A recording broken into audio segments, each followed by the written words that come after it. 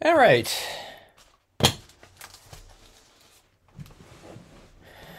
We are just about ready to go here. How is everyone doing today? Um, let's see. Uh, some people have posted. I can't tell the timestamp. Are you in here right now, or did you post that with the uh, with the uh, with the notation of this going live? I can't tell. Uh, hello, everyone. Oh, that's a Cindy was asking 9 p.m. Eastern. Yes. Eh, oh, that's right. I should always post uh, Pacific Standard Time. That's correct. People don't know where I am, right? All right. So, all right. All right, so this video, we're going to be doing some faster versions of everything. Hello, Halls for Crafts. Hello, Sandy. Uh, and if anyone else is in, hello to you. Um, one of the things that occurred to me when editing some of these latest videos, I just keep, I don't know, I'm making these videos longer and longer and longer, doing these more in-depth, um, kind of larger um, scenes, and we need to do some um, quicker scenes, okay? Everyone loves seeing kind of quick and easy, okay? And uh, even when with quick and easy, though, the thing about those is that we always want them to to have a, a dynamic result, right? We don't want to have quick and easy and you know, the end result look like it was quick and easy. But so we want to do some little touches on um, variations that will look good. Hello, Diana. Hello, PJB Stamper. All right. So we did this scene in the previous video. I love how this thing came out. I love the composition. Let's do some faster versions of this composition, okay? It might not, it's not going to look the same, you know, depending on what we use. If I do a scene on blue star dream or something like that. You know what I mean? It's just not going to look like this because we can't add in those different types of colors. But let's work through some different variations of this so that, uh, uh, you know, we people see some different applications. So I don't think I'm going to be going for, um, you know, a stacked, uh, you know, bridge um, structure like this one because I'm going to be doing everything kind of more on the quarter page size. Okay, so quick and easy, you know what I mean? It's not quick and easy. I guess you can do quick and easy applications on a on a larger piece, but you know when you're talking about that, it just becomes kind of more minimal types of applications. Okay, but yeah, I, I really like how this one came out. Um, there were times in this one, anytime I'm doing something like completely different. Okay, the technique isn't different, but there it just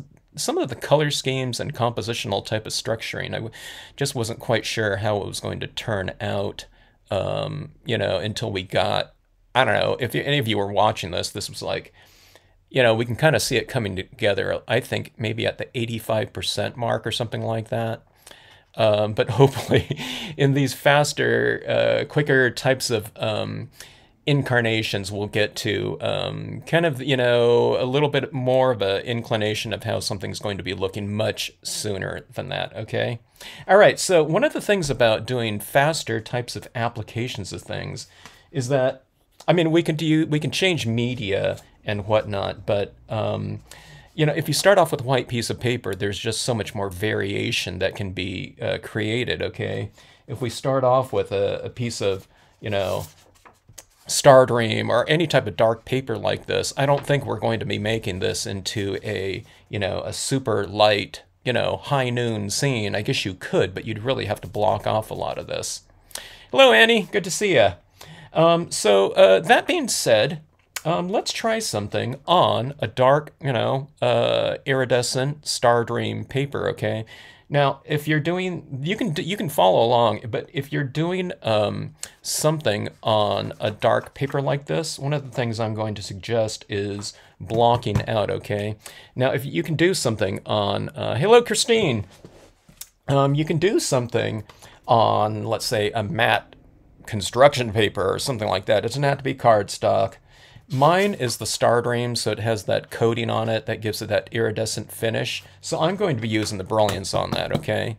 Okay, but like I said, if you're using some sort of other type of cardstock that's not coated and it's porous, you can use, um, you know, I don't know, you're Stampin' Up, your hero, you know, hero hues, you know, unicorn white or some, any, uh, you know, a lot of other types of white for this purpose right here, okay? All right, so hello, Jeannie and Amanda. Um, all right, so what I'm doing on this piece right here, this is a really fast application. It's really fun. And what I'm doing on this, okay, if I stamp out this stamp in black over the top of this, there's going to be so little contrast, you're not going to be able to see it very much, right? So one of the things I do on dark cardstocks, and it's really fun, you don't have to be, you know, uh, very careful at all about it either, okay? But I start by doing something I call blocking out. So it's not particular to the star dream, but just kind of any type of, oh, surface that's, I would say, darker than a 50% gray. Okay, it doesn't have to be gray, but just anything like that. So things like uh, foils, you know, could be red foil, um, blue foil, anything like that. Anything that's fairly dark where you're going to stamp on it and black isn't going to have very much of a, a contrast where you're going to be able to see imagery very well. The blocking out is just, it's such a fast and easy and I would say, I don't know, it's just such a user-friendly way to do this, okay? And it's just getting um, your background kind of established so that when you stamp over the top of it in black ink, okay, a lot of the work is going to be done in many ways. Okay, so this is going to represent probably a nighttime scene just because it's a dark piece of cardstock, okay? All right, so the thing that I need to know is just in general where the, you know, the basic elements are going to be. So I can do like a whole block out area like this. It could be this big round white area, okay? I'd like to have it varied. I think it looks better, okay? So what that means in terms of our applications of this white on here is that you don't have to have it smooth. In fact, it might look even better if it's not very smooth, okay? So um, or I, I wouldn't say smooth, but maybe evenly applied, okay? You don't have to have it evenly applied, so let's just lay some of this down. Now, I know the gist of where this is going to go, okay? So, like I said, that bridge is right in here, and we'll have some of that road kind of coming out this way, all right? But you don't have to be, you don't have to measure it out. One of the times when I did this the first time um, I ever tried it, I think I stamped out my image on um, it might have been on foil or something like that, but I just did it in dye-based ink just to kind of get my bearings roughly on where the imagery was. But later I figured, oh, it didn't even matter by the time I stamped my imagery over the top of it, you know. Like I said, it just, I didn't need that in there, okay? All right, so a lot of people were saying in the last couple designs, and it wasn't different for me, is like, I just did not know where you were going with that scene, you know. you know, or not really with the scene, but with the foundation of everything. And I tell them, you know, hey, you know, sometimes I went to that myself. I, I wasn't quite sure. I knew kind of the direction I wanted to move um, the scene in, but I just wasn't quite sure how I was going to get out of there with a kind of a, un, with resolved it resolved overall, but especially like a resolved areas within the piece. So uh, on something like this, now I've done this before. Yeah, I, I wouldn't say a lot. You know, I started doing this last year, so like something like that, people might think, oh my God, you know, what is that going to be? I just, you know, it doesn't make sense. Okay. All right. Now, if I'm going to do a similar composition, let's say I'm going to put the bridge up this way. Okay. So I'll put it a little bit in, um, I'll kind of block off some of it so that I can see that bridge structure. And hopefully when I stamp it in there, I'll get it roughly in the same area, okay? But again, you don't have to get it perfect, okay? All right, I think my white is getting a little bit dry. I might have to re-ink this. Hello, CM Hawkins. Good to see you. All right, so there we go like that. I'll, maybe there'll be some trees above it or something like that. Now remember, we're working on a much smaller composition than this one right here. So this is going to be roughly like this, okay? This area of that. You're saying this is going to be that, you know what I mean? It's not going to look, you know, it's it, the composition will be in terms of the structuring. It's not going to look like that in terms of the uh, the end result, but this will be your kind of your variation on that, okay? All right, let's do um let's do a moon up here, okay? Um let's do I should really do a smaller moon. Um, this might be a little bit big here. Let, okay, let's do this one. Okay, I just I don't I didn't break out my uh, um, smaller hole punch, but let's do something like this. Okay, uh, let's grab a paper towel. Keeping in mind the um, the quicker, the faster styles of applications right here. I'll try not to take too long on this scene. All right, so rip paper towel becomes your um, your cloud template. Okay. All right. People are saying, I just bought my templates, you know, for, you know. Uh, I could have just used a paper. Towel. Oh, you know, those paper, you know, those templates are really cool, you know, um, to make um, clouds and whatnot. This one's tend typically is probably a little bit more organic, you know, just from the very nature of it. Um, but what you do with this is you kind of move it around a little bit. Don't feel you need to keep this all in place. What you're doing is you're kind of moving it a little bit. See, I just moved it like a eighth of an inch, quarter inch, or something like that. Then I fill in a little bit more, and then you get kind of that looking thing, okay? Instead of this hard-edged type of, you know, real stylized cloud, which are cool too, okay? I'm just not going for it in this piece right here, okay? All right, so we have that going back there. You're thinking, what the heck is that? Okay. Now I'm just going to go like this, okay, and that's my moon. My moon is going to be kind of coming up from behind the cloud, so I, I, need a smaller moon for this piece. So I'm just going for that rising moon, or you can call it a setting moon, whatever you want it to be, okay? All right, so we'll just go like this. And we'll have that like so. There's our moon we need to, you know, create a little bit of a stronger um, highlight on those clouds right next to the moon. So now that I know where the moon is going, I'll add more ink like that, okay? So we get these different looks like that. Some of these areas down here kind of might represent clouds, or they might just, you know, I might be stamping them where the trees are going to go that are in um, the covered bridge design. We'll see anything above those trees will look like clouds and fog, all right? And anything below it'll just seem like the illuminated forms of the design, okay? I'm kind of saying that, you know, in some ways, some of it's in theory.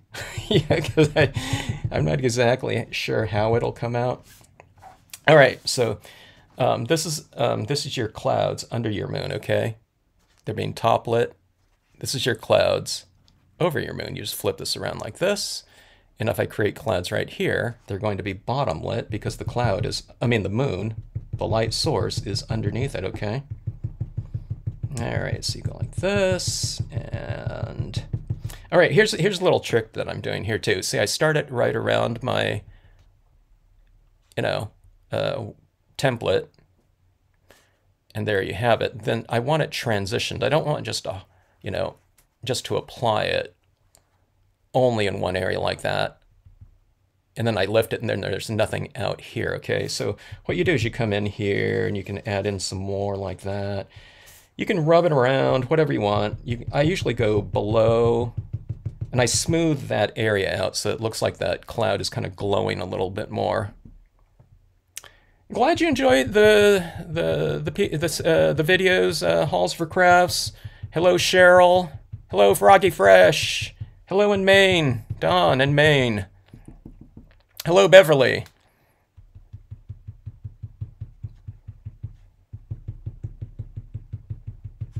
All right, so see that right there? You have a little bit lighter close to your light source like that, okay?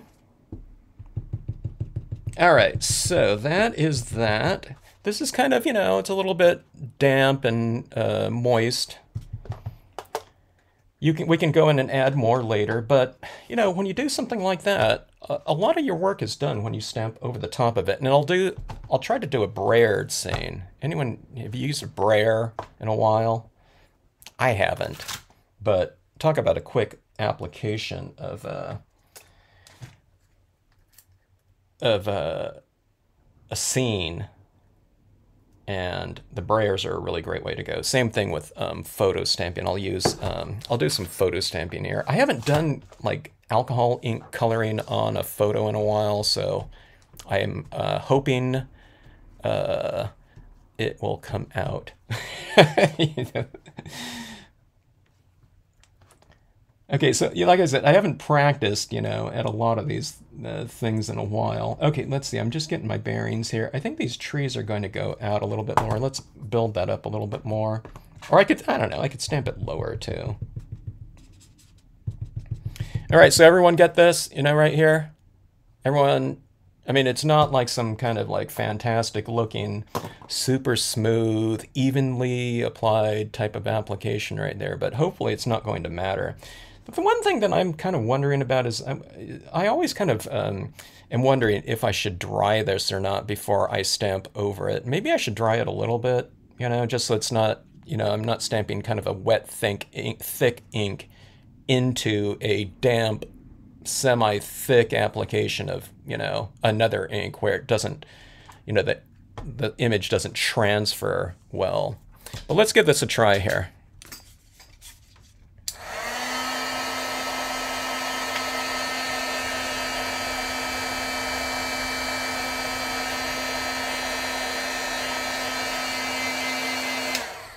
Ah, the gel plates. Yeah, that would be. Uh, these are printing mechanisms here, so those gel plates. I'm really glad to see things like those gel plates um, out there and people using those. Um, you know, traditional. You know, I mean, when we're doing um, rubber stamping, we're doing printing. You know, so having like these kind of more traditional um, styles of printing kind of incorporated into the uh, you know the repertoire of uh, of the rubber stamper is is really fantastic. Card makers and whatnot. All right, so I'm going to use the Brilliance ink, and let's see if I've inked this up enough. It looks pretty wet and juicy. I don't want to. I don't like over inking my um, pigment inks because they're thick already. Okay. And my designs uh, are, there's tight detail in them. So if it's over inked with a really thick ink, I don't want it pooling up in the, uh, in those detailed areas, okay? So, okay, it looks pretty good. It, it's, I do this like a medium um, dampness. It, just about all my, um, all of my inks, except for my light dye-based inks where I'm using them as a as kind of a foundation coat and I want a lot of coverage and I'm a little bit out of focus here. There we go. Yeah. All right, so I'm going to put this right in here.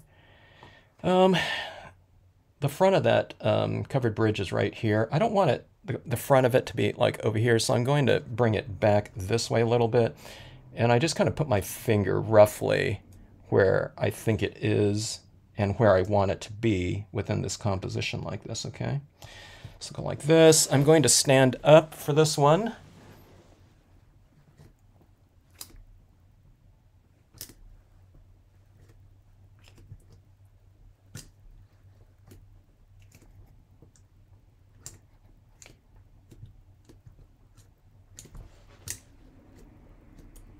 I think I always uh, overkill on this because I'm used to stamping out something. I'm thinking about dye-based inks when I'm doing this, but you know, the pigment ink is just so much thicker. I just think I don't, I probably didn't need to apply so much, you know, uh, pressure. I'm not like forcing this down with like, you know, all the might that I can, but I'm applying pressure in the, uh, around on this, you know, so, you know, you go left, right, top, bottom, center like that. And then I just can't keep doing that a little bit just to get that ink to transfer.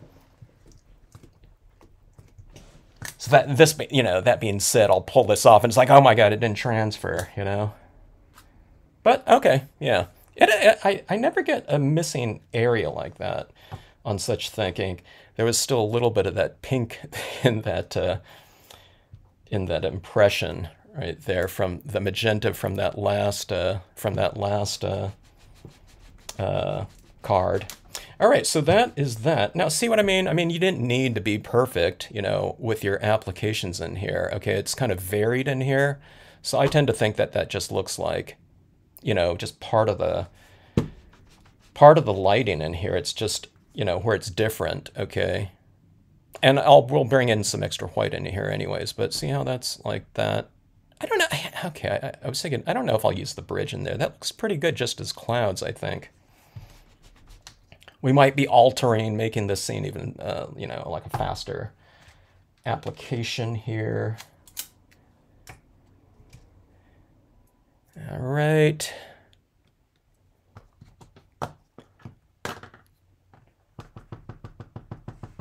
The Brayer and the Big Juicy Pad. The Big Juicy Pad, by the way, is from um, Ranger, and it's discontinued. They were discontinued, I don't know, probably what, anyone know, like 10 years ago. Hello, Julie in Northeast Ohio. Good to see you.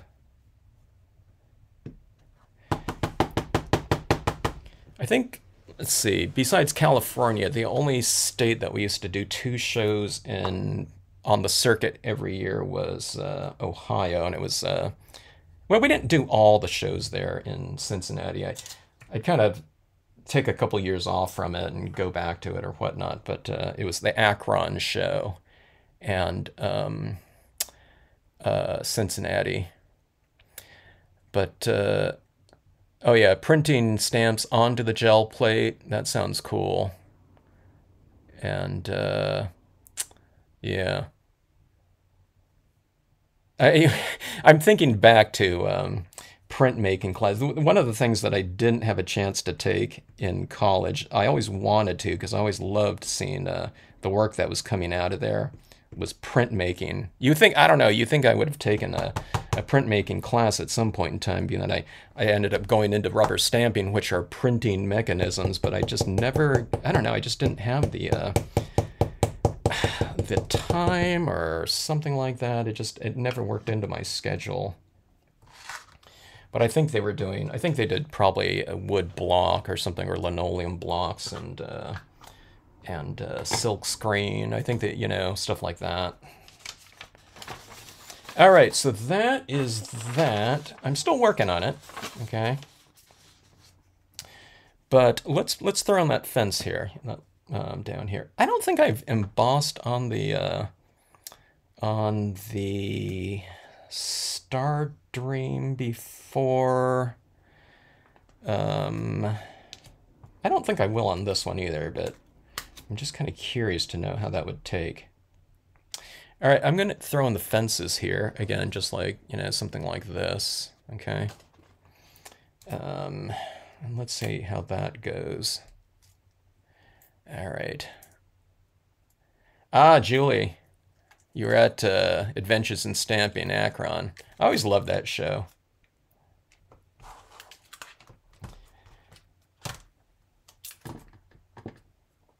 I think either one or two years I taught classes on the Friday night, I think before the show. And those were always fun too.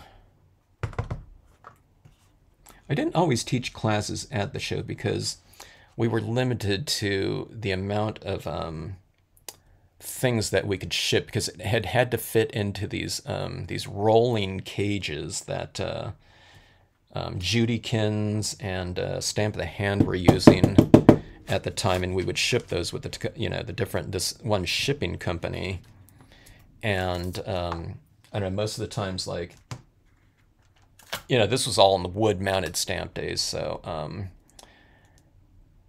it was uh, most of that stuff in that rolling cage were all of my. Uh, uh, you know, the booth displays and things like that. You have to bring, you know, all that kind of structure for all of your uh, your uh, your booth uh, things, lights and everything like that. Um, electrical, you know, your cash register and all that type of thing. Samples, you know.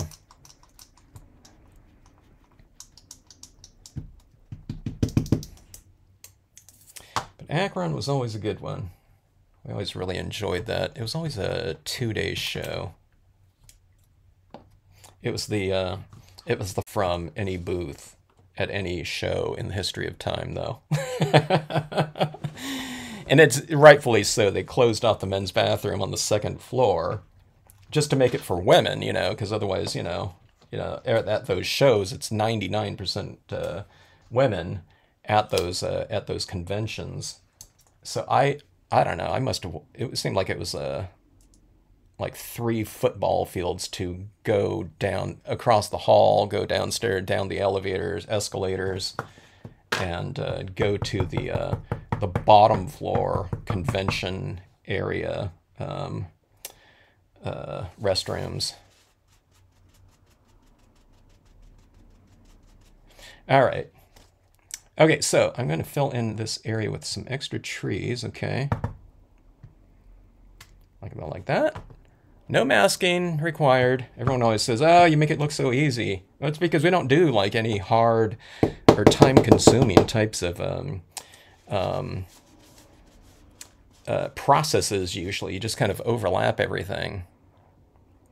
Um, oh, awesome. Yeah, yeah, Julie, you did the you did the um, stamp board um, make and take then. Yeah. Um, I was telling some people uh, in the past that you know that I, a lot of people think, oh my god, that looks so hard. I would never be able to do. It. I'm think, you know, we used to do that, you know, in make and takes at shows. You know, and people would come out with really good results. So um, I don't know, but like I always tell people, um, we do want, you know, we hopefully, when people look at a finished piece, they it looks like something, you know, fairly in-depth to create and not something that looked super simple and easy to do, right? We want kind of dynamic results.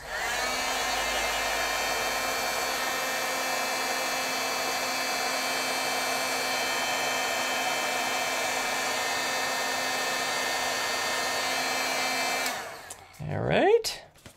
There we go with that. All right, now here's those little kind of tweaks that um, can make something like this kind of extra special, okay? Now, I don't need to do too much on here. I kind of wish that um, I didn't put so much white down there so that I can kind of bring it out a little bit more with some extra tone. But what I would do, let's just do it anyway here.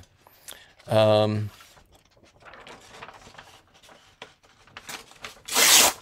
Oh, yeah, that's right. Rangers in uh, New Jersey, huh?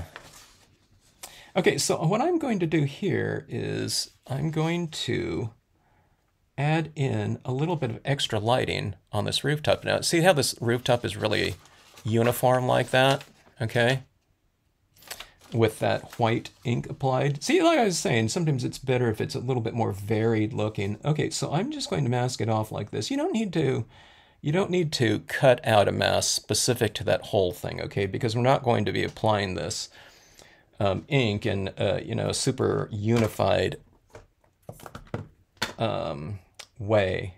I don't know if unified's the, the word, but um, uh, a whole, you know, way. Okay, so what I'm doing is I'm just going to apply a few um, taps of white ink in one area. Okay, see it's a little bit darker over here, so I'm trying to, I mean, this is a really thin, uh, like a little Q-tip might be a better applicator for this purpose right here, but let's see if it even shows up right here. Okay, let's go like that. Yeah, it's a little bit lighter in the middle right there, but like I said, I didn't have too much contrast to play around with because it was already so white, okay? But okay, so here's here's the other things that I like to do in here, okay? So we have this mist, okay? This is what I call sandwiching the, the designs in, in many ways. We have that white in the background, right? And then we have our imagery, right, applied over the top of it, okay? But let's bring that cloudy type of formation in front of this so that you are sandwiching this form in between that type of lighting and texture. All right. All right. So here we go like this. And I'm applying it. I'm applying it kind of in a dry touch too. Okay. Christine just ordered the fences. Hope you enjoy those ones. Now, one of the things about those fences too, Christine, see, they come in um, two different sizes on here in terms of the larger ones like that. So I used the smaller ones on this scene because it was smaller. And this one I used the larger one right here and the smaller one right here in the distance. But since this is a smaller composition, I just use the smaller ones for that purpose. Okay, but here's the sandwiching, okay? See, it's just kind of, I'm developing it really slowly, okay? And this is where it makes it really easy. It's This is not a hard um, process right here. But if we go in like this with like a super wet, juicy uh, white thing, then you have to use like a ton more touch. I don't do that though, so I just come into it with a really light, kind of almost powdery application of that white and then see it's just kind of kind of starts illuminating like this and then here we'll put it you know some down here if we want to like it's some kind of fog uh, coming off of uh, you know what would be the stream down here okay it's it's already really dark down there because um, I didn't apply a lot of the white ink down there before I did the impression so you're putting this like right in front of that um, fence you know you can put a little bit at the base of some fences right here, like about like so. And I think it looks like uh, that low line mist I always mention, okay? It's like they do this in the movies. Every time uh, there's some kind of uh, scene, it doesn't have to be a horror scene or something like that. It could just be noon time out in the middle of a forest, but they always have those fog machines rolling. And it just gives everything a little bit more kind of atmosphere and also movement when you get this kind of you know stuff moving around in there and plus it illuminates areas that you know were previously just kind of dark okay so you have this like that all right so see that where I sandwiched that in there and it looks a little bit more three-dimensional I think and plus you've brought something into the foreground that's also in the most distant areas of your scene so this is what I'm always saying if you add in that little white you know, pigment ink effect like in here, and here it is over the color. Here's that white pigment ink down here. There it is in the very distant areas up there. Here it is very close to us right down here. So it, we've given um, the scene a little bit of textural continuity, okay? All right, let's see. Um, all right. Uh, here white pigment, uh, white, not pigment ink, a white acrylic paint pen. Let's bring this out now. Bills, yeah. Who needs them, huh?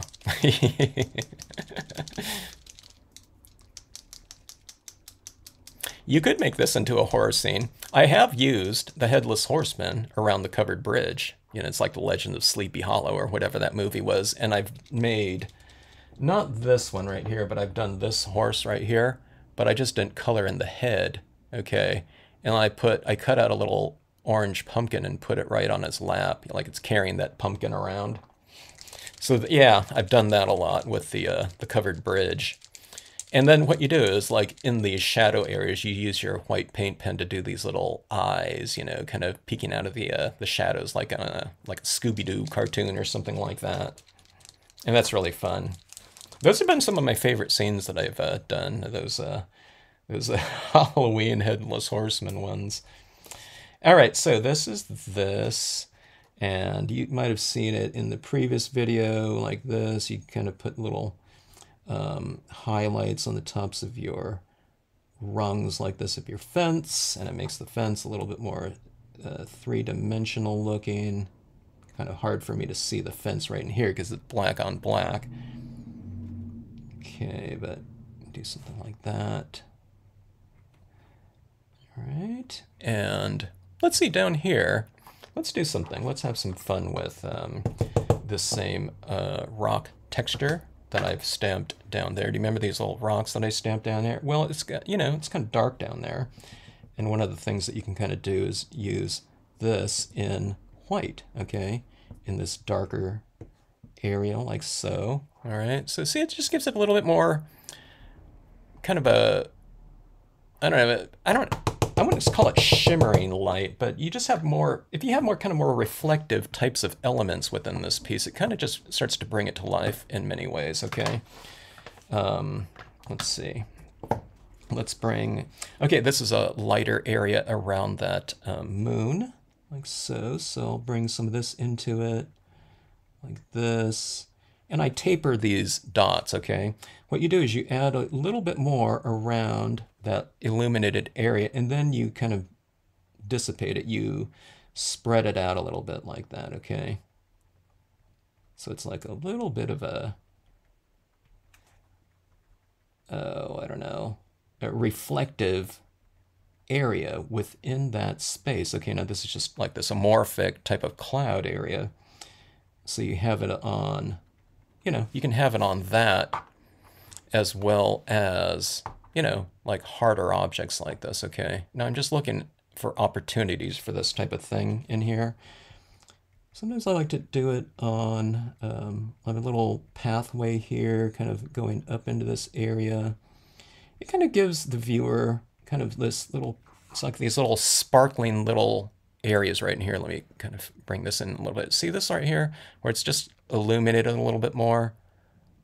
So it's kind of welcoming the viewer and it's kind of giving them, you know, this little pathway to follow visual from a visual standpoint, okay? Oh, here. So we have these trees right up here.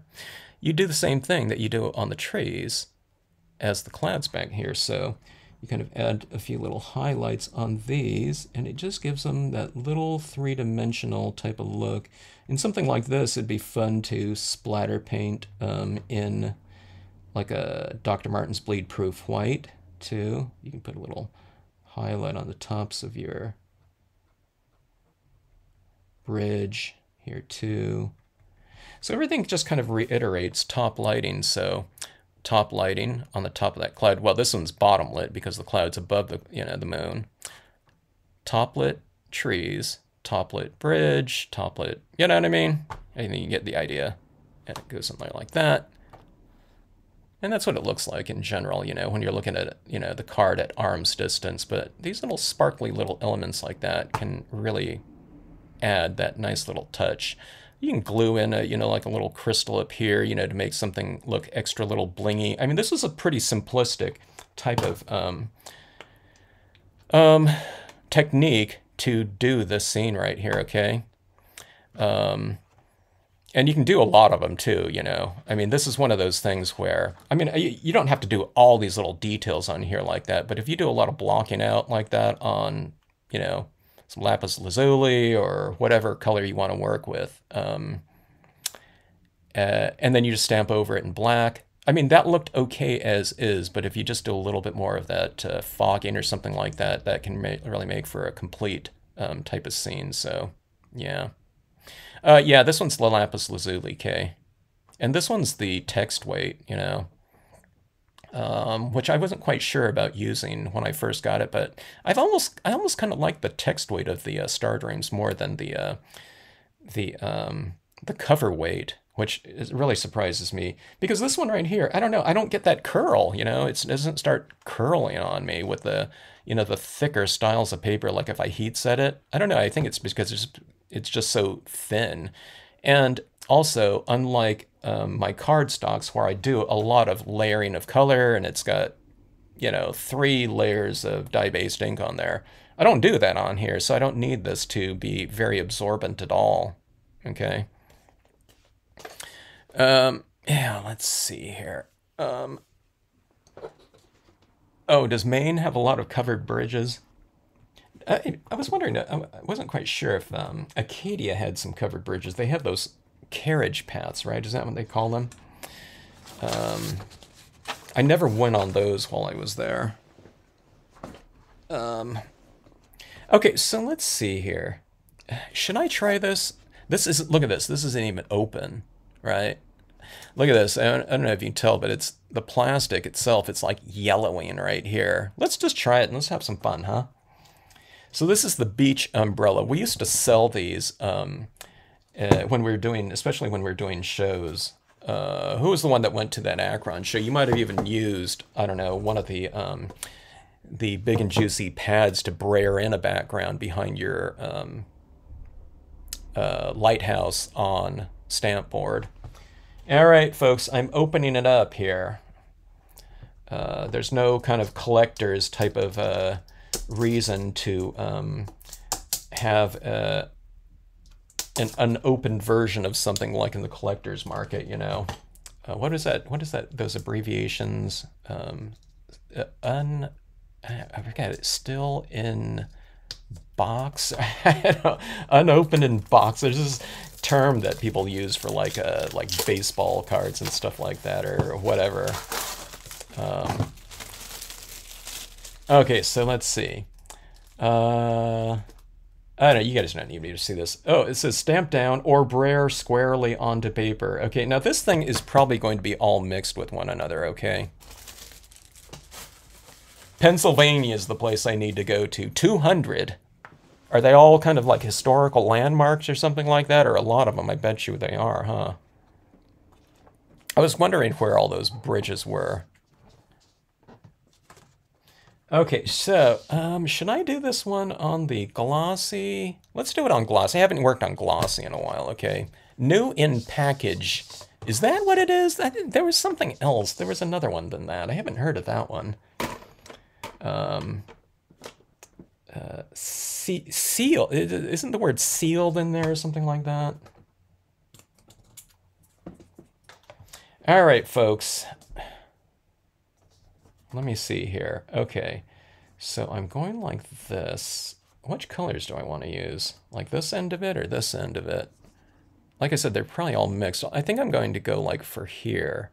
Okay, thinking that this probably bled into this part. So something like this. I have to kind of wonder which one, which which is going to be up and which is going to be down. I think it's going to be, I think I'm going to do, well, that, maybe I'll do this. Let's do this right here, okay? So it's going to be kind of warmer down below and kind of cooler up top, all right? Let's give, let's give this a shot here. Here's what I always had to tell people, you know, when you're at a convention if they haven't done brayering before. Please do not do it this way. so you have to always catch people, you know, when they're about to do that, or you have to really kind of emphasize the uh, direction of it, okay? All right, let's see if this is still working. This is probably a Oh, I don't remember when the last show that we did was. And we weren't always using these pads here, so this could be. Um, uh, your pad could be dried up K, yeah, if it's open. I don't know, but for me, um, I have a bunch that are opened, and I never re-inked them, and they're still. I don't know if they're as juicy as one, you know, it's 10 years ago, but there's still a decent amount in there like that. Um, what is that? A little piece of water right there. Uh, let me get another. I got a drip of like water right there off something. Oh, oh, I cleaned off my uh, brayer before. I used it on the uh, Seaside Cove. Okay, I think this is coated in right here. I, I don't do this a lot, so I can't remember the last time I've done this. So there's probably a video of me doing brayering, and it's probably from three years ago. I think that's the last time I've done it. All right, so this is the way this always looks, okay? Um, so you keep going like this, okay? It's all choppy looking, and people are thinking to think, oh my god, that's not going to work out. But you have to just keep going like this.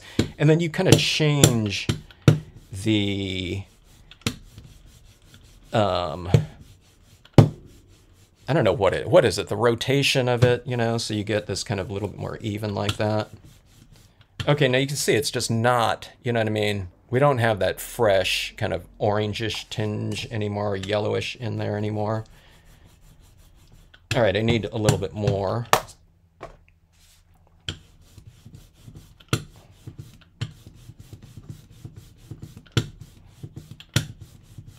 I think we can call it big. It's not just big and juicy. It's like big and like blended together now, okay? Okay, I'm trying to get this area right here to kind of smooth out a little bit more. Inevitably, when I do on these pieces, though, I add more ink afterwards. Okay, this kind of just provides that foundation. This is one of the first um, applications of uh, things that I've done. Um, in this section of the website that I used to call, um, was it quick and easy scenes or something? It was like that. It was in the lessons section. It was like something like that.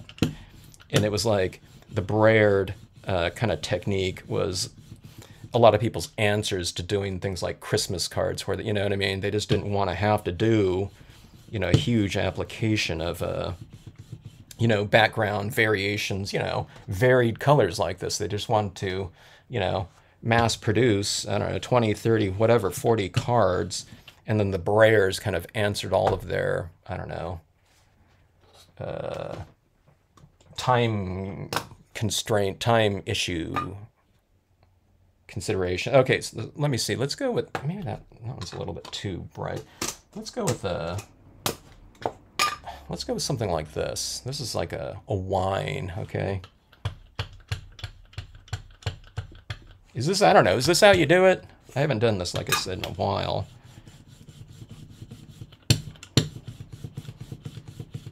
It's kind of strange how I'm getting this kind of these like lines coming down like that. I don't know why. It's almost like a, it's like this is revealing some kind of like uh, differences in, uh, I don't know, the paper, the surface thing. Unless it's the rotation of this. Like I'm hitting it in a different area all the time with the roller.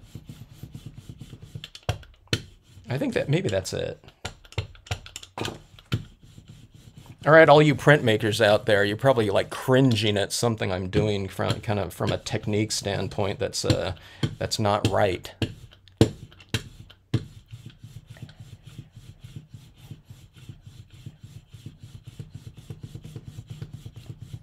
All right, let's see. I think that'll do right there. All right. All right, so um, one of the things about Ranger inks is that they're kind of thick. So that would be things like the Adirondack, the Big and Juicies, um, the Distress inks and whatnot. So I'm just wondering how my impression is going to look on there right now. Uh, I'm wondering again, should I kind of, um, should I, should I heat set a little bit? If I heat set this right now, it's going to look really dull also. So um, you know, I spray seal this uh, later on, so um, we'll see how that goes. All right, so let's go with the impression again. And all right, let's see. Uh, we want to do some other types of things on here. Thank you, Cindy. I haven't brayered in a long time. It's a good, it's a great technique. I don't know about using that big and juicy pad again though, but um, you know, go for some brighter colors. So if I'm going for something like a really bright sky or something like that, this this is bothering my here. I, I want I want this to be like really super easy and fast to do, but there isn't just I need uh, like a kick of some color down there, right? It, it's not it's not uh, varied enough and rich. Let's let's hit it with a little bit more, okay? Roll and lift. Okay, I was kind of I was kind of doing that. Uh, lift and Don. Well, Don says lift and roll, and CM Hawkins said roll and lift. So which one is it? No, I'm just joking. All right. Uh, so here's what I'm going to do. It needs it needs something else down here, doesn't it? You know. Let's do this right here. I don't know, you know, the, the Lakeside Cove, I'm thinking, would probably be better with this one. Something more of a solid thing with all these open spaces in here. But since we are with the thing, going with the theme of um, the, uh, the covered bridge, let's just use the covered bridge again. Kind of something with a little bit more of a solid silhouette against this would look kind of cool. But I want to try it, all right? Um, this right here, this area right here kind of gives me this idea for um, doing this. Uh, I, I posted onto the Stampscapes Facebook group this, um, it was a video off YouTube or Instagram where someone had these northern lights, but the, the horizon looked just like that right there. But then it went into this like super bright crimson red up there. And um, I was wondering, I kind of posted the uh, question, would we be able to achieve that different that look easier or more effectively using like a red foil and applying like blackings down this way. See how that has that glowing kind of look that you can kind of get if you get the, you know, the right, you know, kind of uh, lighting on it, but then have this kind of darkened in up here. Then you can have this kind of flamey looking motion to um, kind of northern light thing. Or is it better to stamp on um, this type of paper and to give it, uh, um, you know, use your inks, you know, and do them, you know, more custom. You know, speaking of that, I think this would look good. Let's let's make this into a northern light thing, okay? Let me do this right here. Let's let's move into this right now. So I just talked myself into something right there. I wasn't even thinking about it before. Okay, but again, we don't want this to take forever or anything like that, okay? Like I said, these are pretty quick and easy. I mean, it's just getting the background like this. You know, once we stamp our imagery down there, it's not going to take very much longer than that. But um, let's see, let's go like this. It needs to become much richer up top here, okay? This is magenta it, you know, after I get done with all this, it's like, I don't know if we really needed that, uh, the big and juicy pad in there. Maybe not. Maybe it inspired the, uh, I don't know, the rest of this piece or something like that.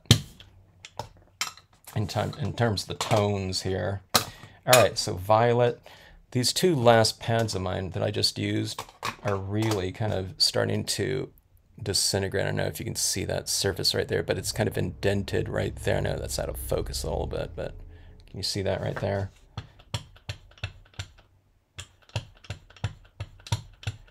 But it's still good for this type of usage. Maybe not. It's coming off right there. Here. Oh, that's really disintegrating. Maybe it's not so good for that usage. Let's see. All right.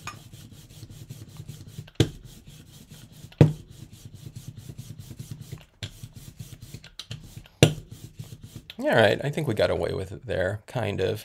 All right. Um, you can replace these pads right here. Is it is anyone on here that uh, posted what they did with the uh, the replacement of the uh, the Marvy ink pad fabric? I forgot what we did in uh, what you did in that. It was this certain maybe it was a Ranger foam or something like that, Cra some kind of crafting foam that you did. Okay, let's see.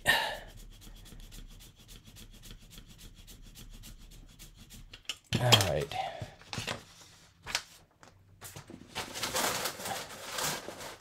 Have you ever used a gel plate? I haven't, Kay. Not yet. I do need to I do need to give it a shot though sometime. All right, so let's see here.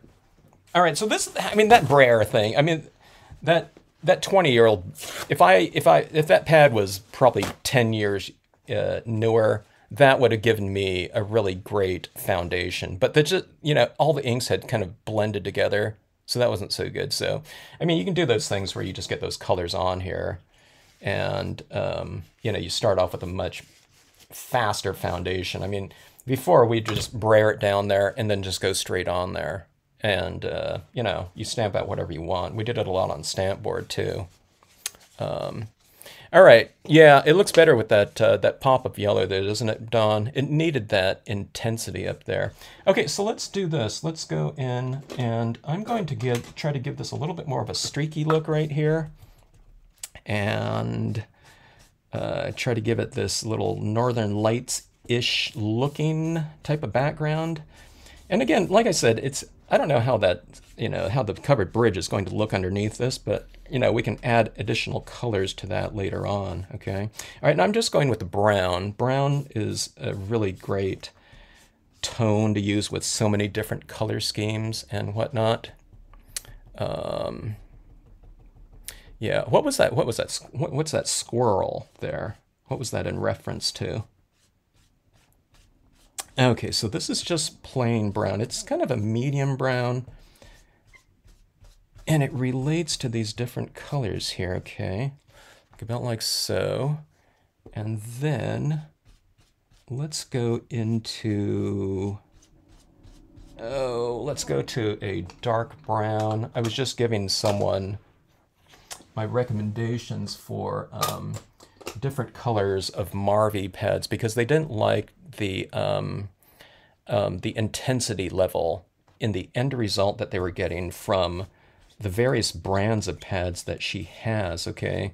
Now, one of the things that I asked her was, was that, are you spray sealing your pieces, okay? Because like this ink can potentially dry dull. Now, I've used the Marvy ink down here, but it also has that Ranger in there, and the Ranger inks, as well as just about every other ink, a lot of times you can't tell if something looks a little bit duller because we're using them on matte cardstock, and we're also not like glazing so many layers on there, but when you build up a lot of different colors, and especially when you see them wet, there's a certain kind of deep intensity to them. And then when they dry, it's like, oh my gosh, it dried like completely like frosted over and dull looking. But then you spray seal it and it can, you know, oftentimes or almost all the time bring back the vibrancy of the freshly applied look. Okay. Cut and dry, thank you. That was it. Thank you. I need to get some of that. All right, so I am adding this down like so. This is surprisingly feeling very dry on me with all that ink that I've used. Okay, let's go to black on this one.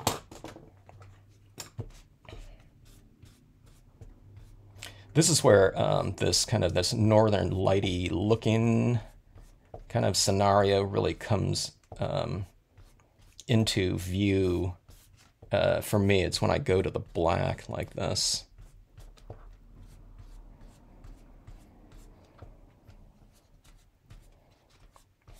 If I make this redder in here, then I can submit my uh, my piece for that. Uh, I don't know. We were talking about like doing a, like a challenge in the uh, Stampscapes Facebook group. You know, kind of getting something in the spirit of that uh, that video. It was I think it was a time lapse video. I had never seen um, kind of a Northern Lights looking like that, like such a crimson red and uh, glowing like that. It was really uh, it was really cool looking. All right, so that is that. I mean, that's not supposed to, you know, it's just uh, kind of in the spirit of, you know, some kind of lights like that, okay?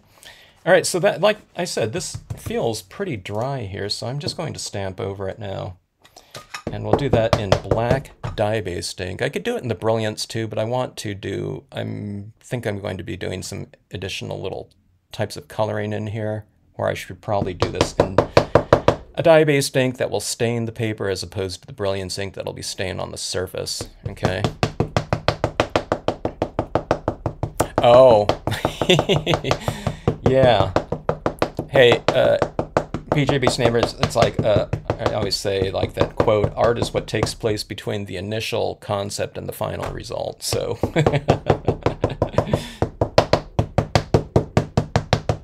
it's like, uh, that did not work.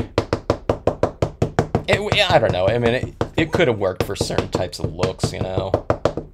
But it i don't know. To me it was uh, those inks in there were you know were already kind of blended and a little bit murky looking. I didn't like that uh, all right so let me see. Let me re-ink my pad a little bit here.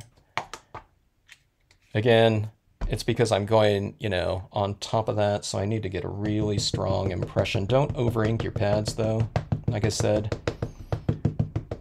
we don't want things to uh, to puddle up and to get into the details in there. I think I'm going to stamp this one a little bit lower, okay, so that this road is kind of down in this area.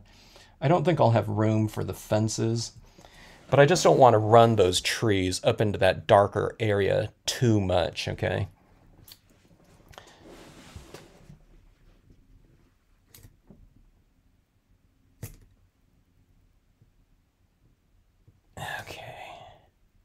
Now this one, I, am going to allow for that ink to transfer quite a bit, okay? Just in case it is um, a little bit moist underneath there.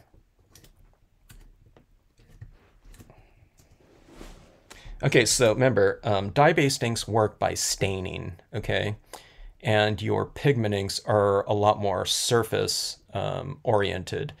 Uh, the VersaFine Clair a lot of that pigment ink, that pigment stays on the surface, but then you get the oil that needs to absorb into the pulp of the paper, you know, past the surface. So that's how that dries a lot, by absorption and a little bit by evaporation, but a lot of it's by absorption. Uh, but but dye-based inks, it's by staining. So allow your things to stain. You don't have to hold it down forever if it's on just on a white piece of paper because the paper is exposed, but we have it underneath. I don't know.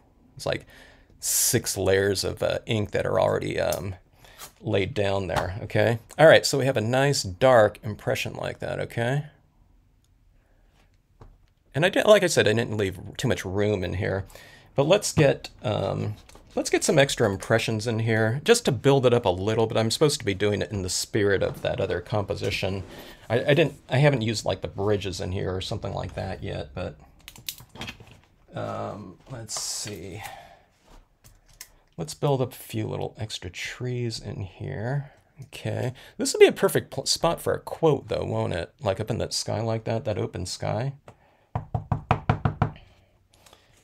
Okay, I'm going to wipe off the bottom of this where it's transitioning into my other trees, okay? So it's just like clouds, you wipe the bottom portion where it's transitioning a little bit. So ink up, wipe off, stamp, okay, or just dab off maybe, that'd be better. I'm just trying to get a little bit more of a, you know, an area where it's just not straight across like that, okay? I think it's more graceful if it's a little bit more varied like that. Let's go like this. All right, so it's kind of like that. All right.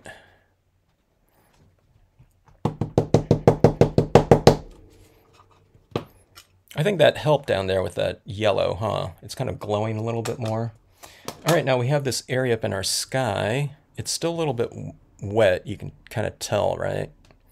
But let's hit that area up there. To me, that area up top there, I mean, it looks okay. It'll be better when it's spray sealed because I'll get a little bit more of a glow going in there.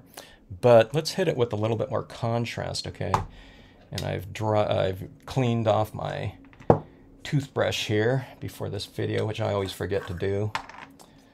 Let's go in here and mix up some um, bleed-proof white, okay? All right, bleed-proof white is a opaque white pigment ink, okay? And I'm just getting very little of it, just right in the tip of this toothbrush, okay? And then I wipe a lot of it out of there. So I'm probably using about, I don't know, that would be about 25% of the tip. And then I'm wiping a lot of it out, so it's kind of like a dry amount. Not dry amount, but just a, a minimal amount of that in that area right there, okay? So let's just, uh, let's keep this as stars up here. So I'll just kind of loosely mask off my trees like that, okay? And let's go like this.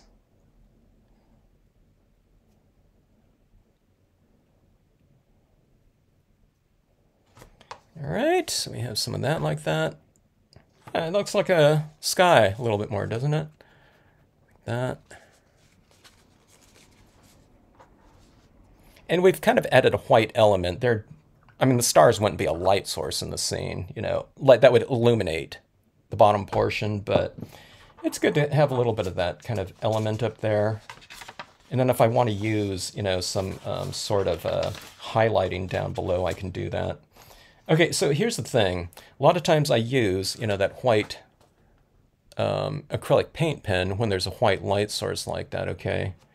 In this one right here, I've retained the white of the paper, so you can see these um, white little touches in here, okay? I, I did different color, pink and white and things like that within that color scheme. There's some green um, highlights down here in the green grass area, okay? But on this one, there isn't um, like any white of the paper. Okay, so here's what I'm going to do. I have, you know, this is where these acrylic pen, pens really come into play like this. I don't have to go for such a stark um, highlight with these pens like this. Here's, here's the white you can see. Here's white, but then these colors right here are kind of within that color scheme, right?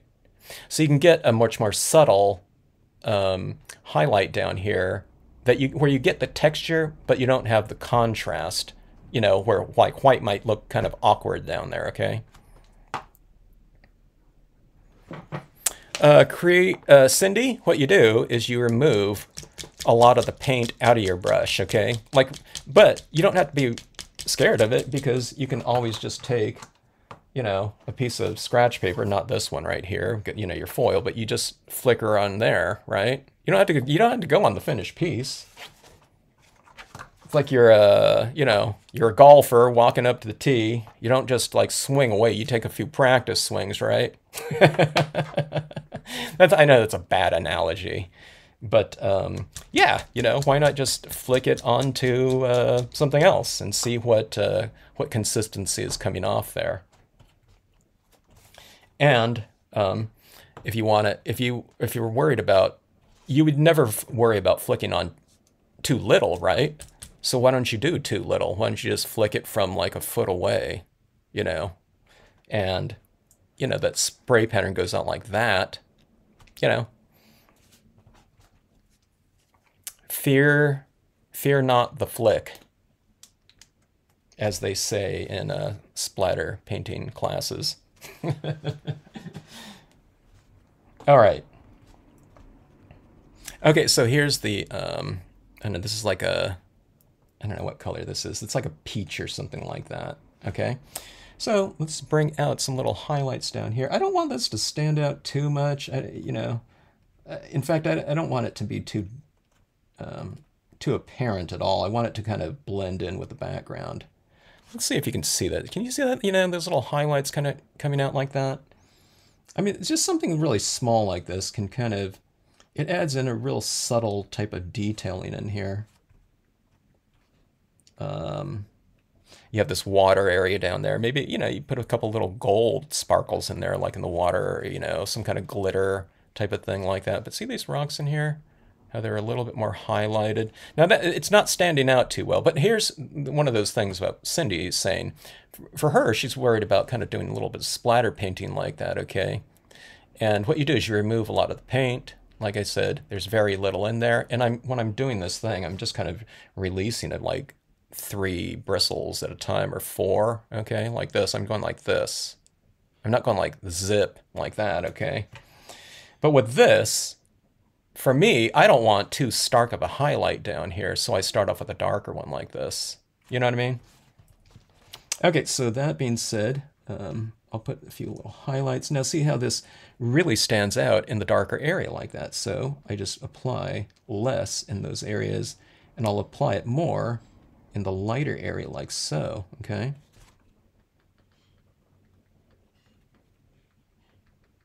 So that the contrast between this and the background isn't quite so stark. So I'm not going to do anything up here. It'll just stand out too much. Okay. There's a little fences right in background like that. I'm just kind of bringing those out a little bit. All right, so that is the darker one like that. But see, yeah, just little details like that. Doesn't that little fence kind of stand out a little bit more three-dimensionally? I mean, you don't have to do it. I think it looked fine without it, but I just think it it gives it that little extra touch. And I'm not going to use the white pigment ink in here either because there's no white light shining in here, okay? This would be good for like a little northern light type of thing, and or a, uh, like a North Star type of twinkly light in there, but I don't know, that might stand out a little bit too much too. Okay, so this one's lighter. Can you see that really standing out more? So I'll add that, but you just do it kind of sparingly like this, okay? And I'm adding it kind of in the lighter area I'll have some of these rocks in here, kind of capturing some of that. That really stands out, and that's not even white right there, so I won't add too much of it in here. I'll bring out that fence even more. Eh, that's a little bit too much. Just kind of blot it off like this. All right.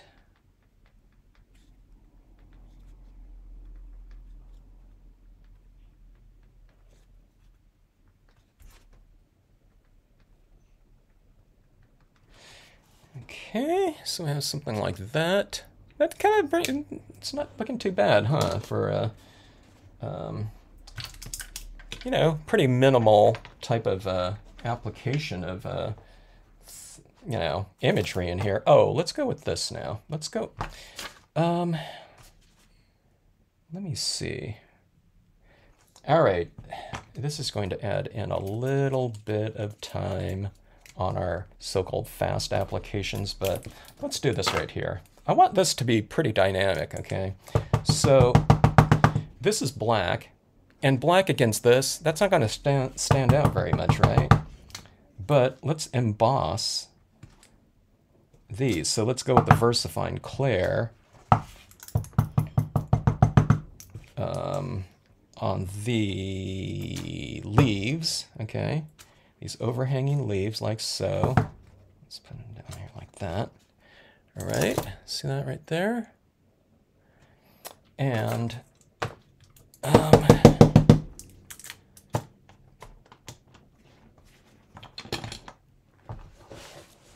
I'm winging this a lot more than I thought I would.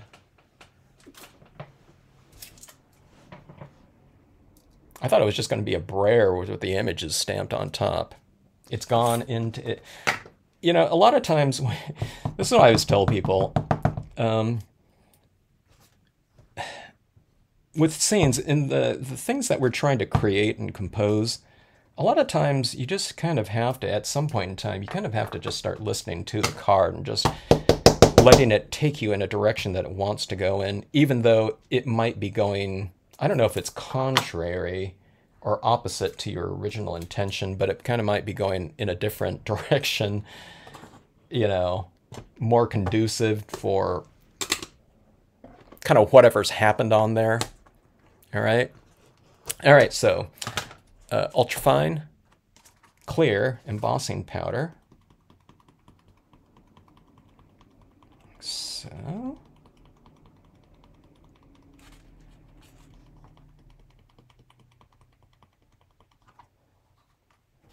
Okay.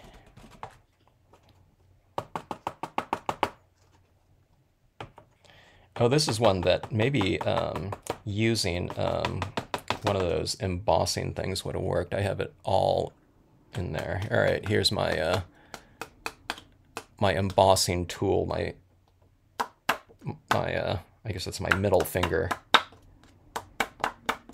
I've given my I've given my card the finger, the middle finger. All right, let's see. Yeah, I guess that got it off. I can brush off a little bit of that, but I don't think I need to. Okay. If it's a little bit raised and, you know, with that embossing powder on there, no big deal. All right. Okay, let's see how this looks um, embossed, and this one will be done. We'll have another card done. Um, let's see, okay.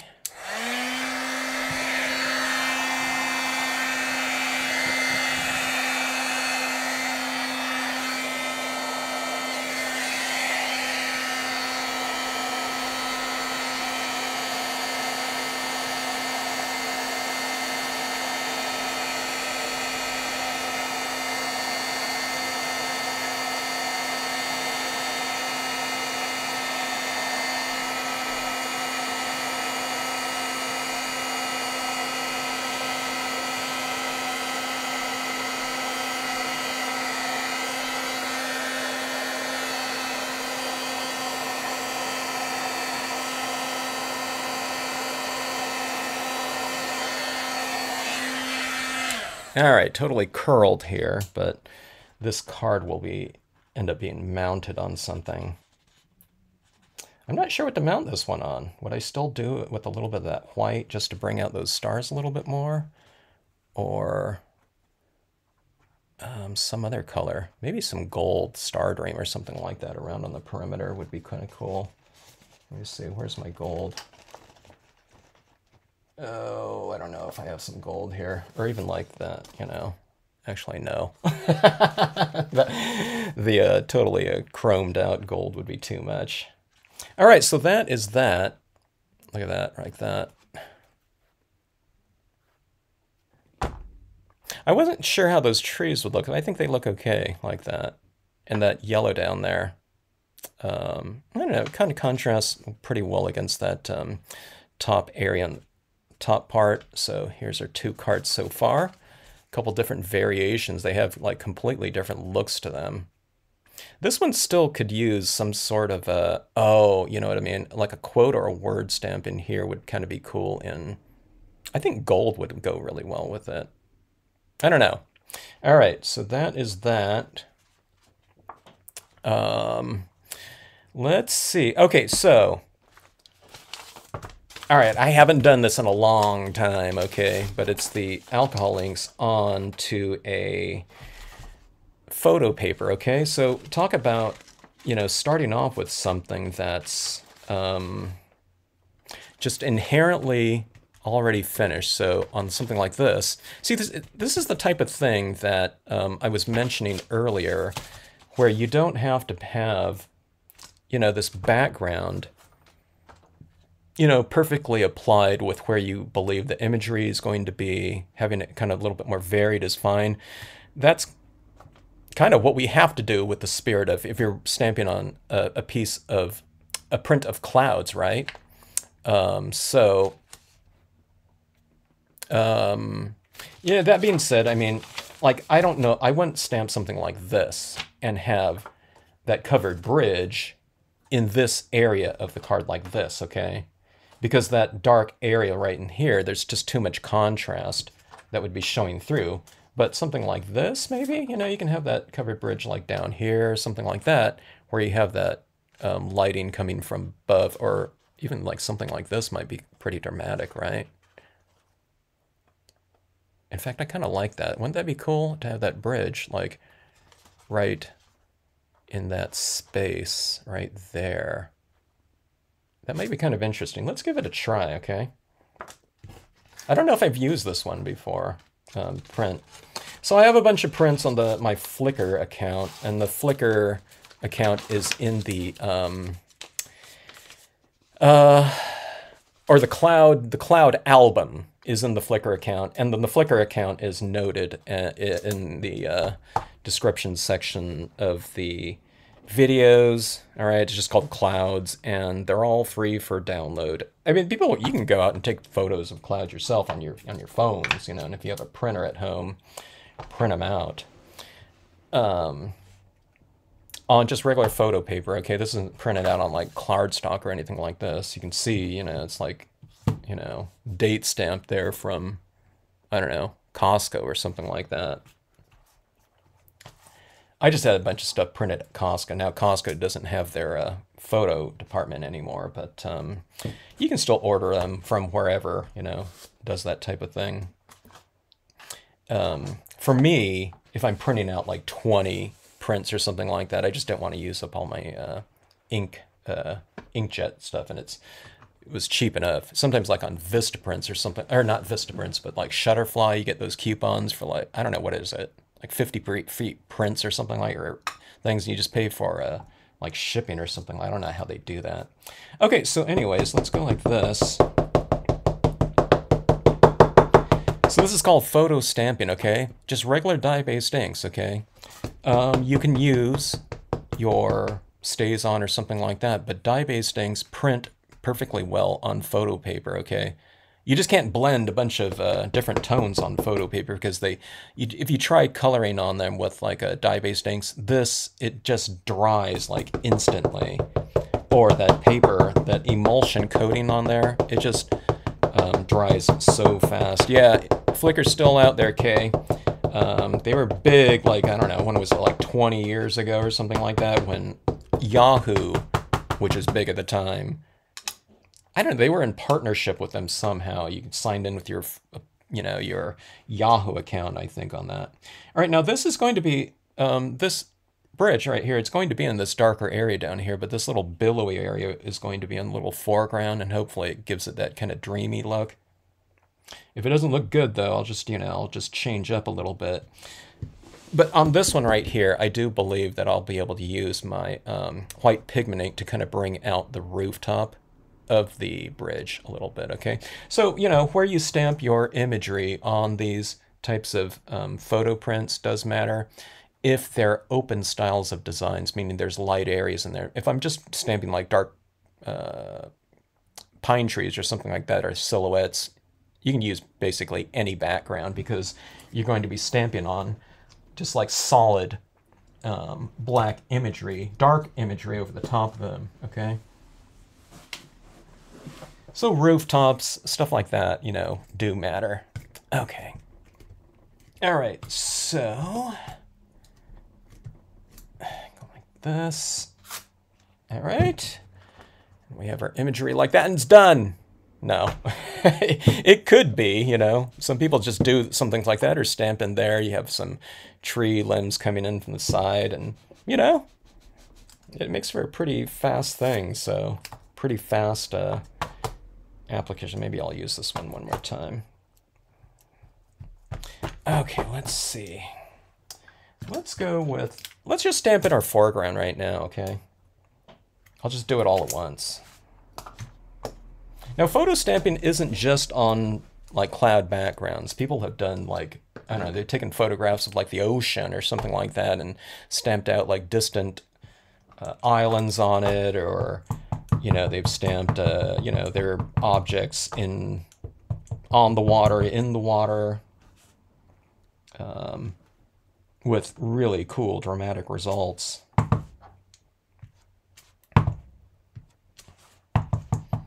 I think, let me see, what are some of the most, most creative ones? Sometimes they're like whole trees and everything, like a whole snowy scene. Snowy scenes are great too because it's that white kind of uh, terrain in there, so it's really conducive for stamping whatever you want in there. You know, there's plenty of open space in which to, uh, you know, cr to create your uh, pieces. All right, so a little bit of a foreground like that. And again, this is just the dye-based ink here. All right. A little bit of foreground. I think I tried embossing on photo paper once. I didn't like it. It it reacted too much. That photo paper reacted too much with all that heat, and I just didn't think it worked very well. Um, but that was one of my recent experiments, okay? And I didn't really investigate it too much further than that. Okay, so on something like this, um, you can come into it with extra colors if you want to. Um, why don't we just do that for the heck of it, okay? I think it kind of looks good monochromatic, though. But let's go in here with a little bit of tone. So the thing that I'm doing on here is I'm kind of going into it with with the spirit of kind of a um, like old black and white photo tinting type of uh, exercise, meaning I'm coming into it with kind of duller tones. I, I, I'm breaking this one out just in case I need something a little bit brighter. All right, so these are alcohol inks, okay? Um, people used to use dye-based inks, okay, but dye-based inks really kind of get set instantly where these alcohol inks with this photo paper emulsion like this stay a lot more on the surface so you can blend them out. So if I don't like it, I can just um, like, not erase it, but you can kind of uh, alter it um, quite a bit, okay, and which is what I think I'm going to need to do here, especially, um, like I said, I'm very, I'm not practiced at this lately. So I kind of forgot, you kind of get the feel of it a little bit. And one of the things is too, is you kind of get, I kind of forget what, how the inks kind of feel or how they kind of move around on here. All right, so where I'm using this right now, this is a really light tone, so I can't even see it over the top of this gray. It is getting a little bit warmer though. Do you see that right there? Like that? Yeah, I mean, you can tell it's warmer, a warmer tinge than right there, okay? Let's come into it like this. Top of the mill. I mean, uh, not the mill, but the bridge. Okay. I'm picking up some of that ink. I didn't let this dry at all either. Um, Yeah, I haven't used a stamping platform, but that's a really great um, uh, tool for that uh, kind of impression quality. The, the stamping platforms too, there's different things that I've thought that we can do with that too, just because it's, uh, you can stamp over and over, you know, with that repetition like that. But there was something, I forgot what it was, where we stamp out something, then do something else, then stamp over it again. And I thought the only way I can do that is with a platform, but, you know, I don't have a platform, so I couldn't do it. All right, so here's some of this green. Now that's looking way too green, but my other ones were just like invisible, so I need to go in here with a brighter tinge, okay? I don't want that right here, but it's going to be, I'm going to use my blender pen on there and hopefully it'll come out. Okay, this is the part where it's like, I don't remember how I did it before or how it felt, okay?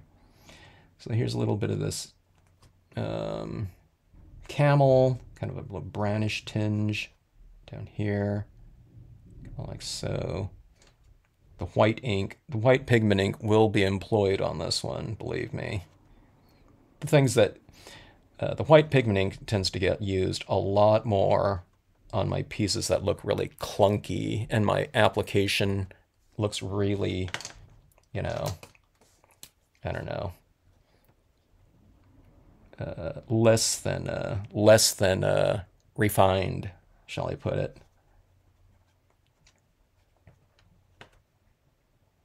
I'm not an expert on like a lot of different media out there, folks.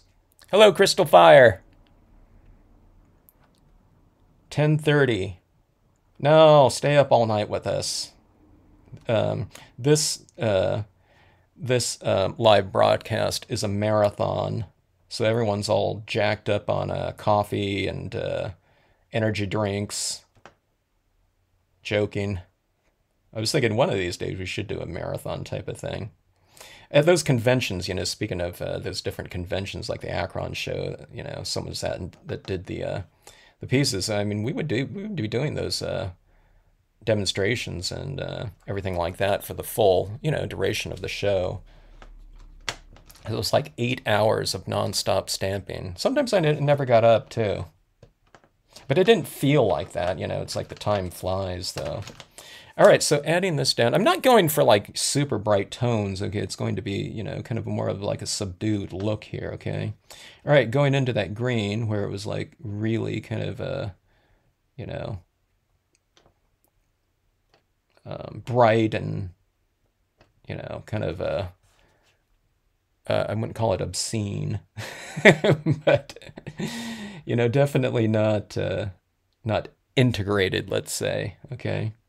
So I'm just kind of blending it in a little bit more with each of these types of things. And again, we'll use some of these other types of uh, colors in here. All right, uh, let's let's go into the uh, let's go into that um, covered bridge a little bit more. Let's see if I have a more of a brownish tinge. I, I'm having a hard time getting kind of building that kind of brownish tinge. There's, that's a little bit more right there.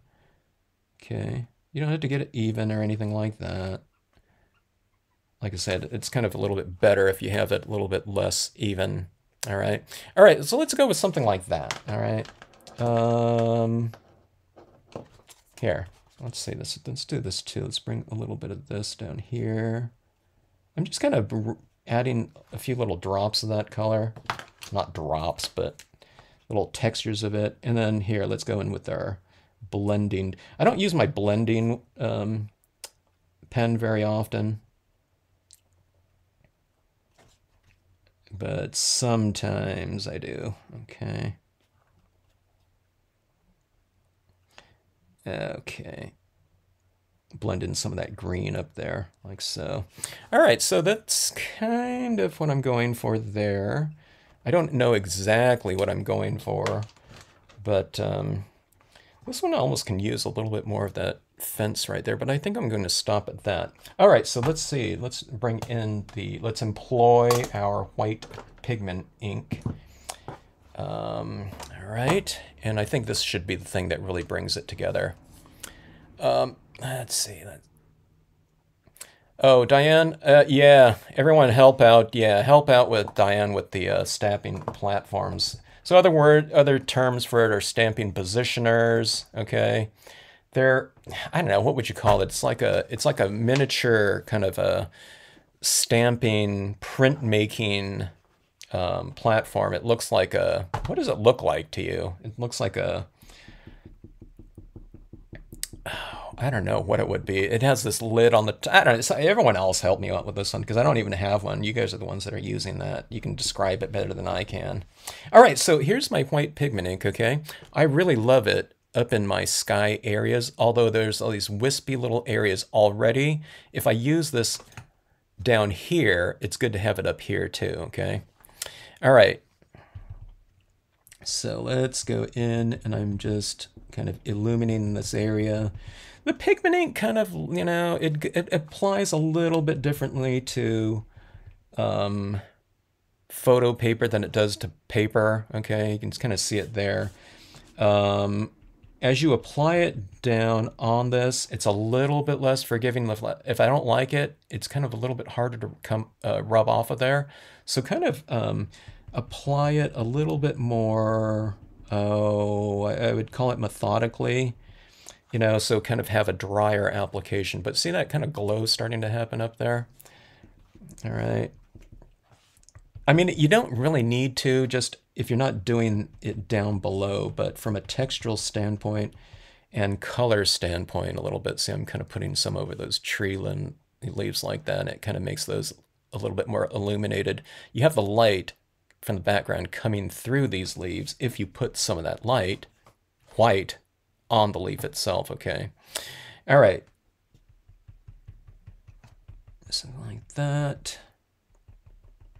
I think the leaves, you know, the branches look a little bit more three-dimensional. They look kind of like they're a part of the photograph, don't, don't they? A little bit more. See, there's a little bit of white up here. Let's put, you know, I can put some of that. I don't put it in here because there's no light in back of it. So you add the white kind of in an area um, where there's white that already exists like that. Unless it's lapis lazuli where there's no white on this, you know, but you're just kind of creating the whole lighting scheme itself. All right, so let's start adding it down here. There's not a lot of white down here, but I, I really need to add some of this down here to integrate the uh, piece, the impression, something like that.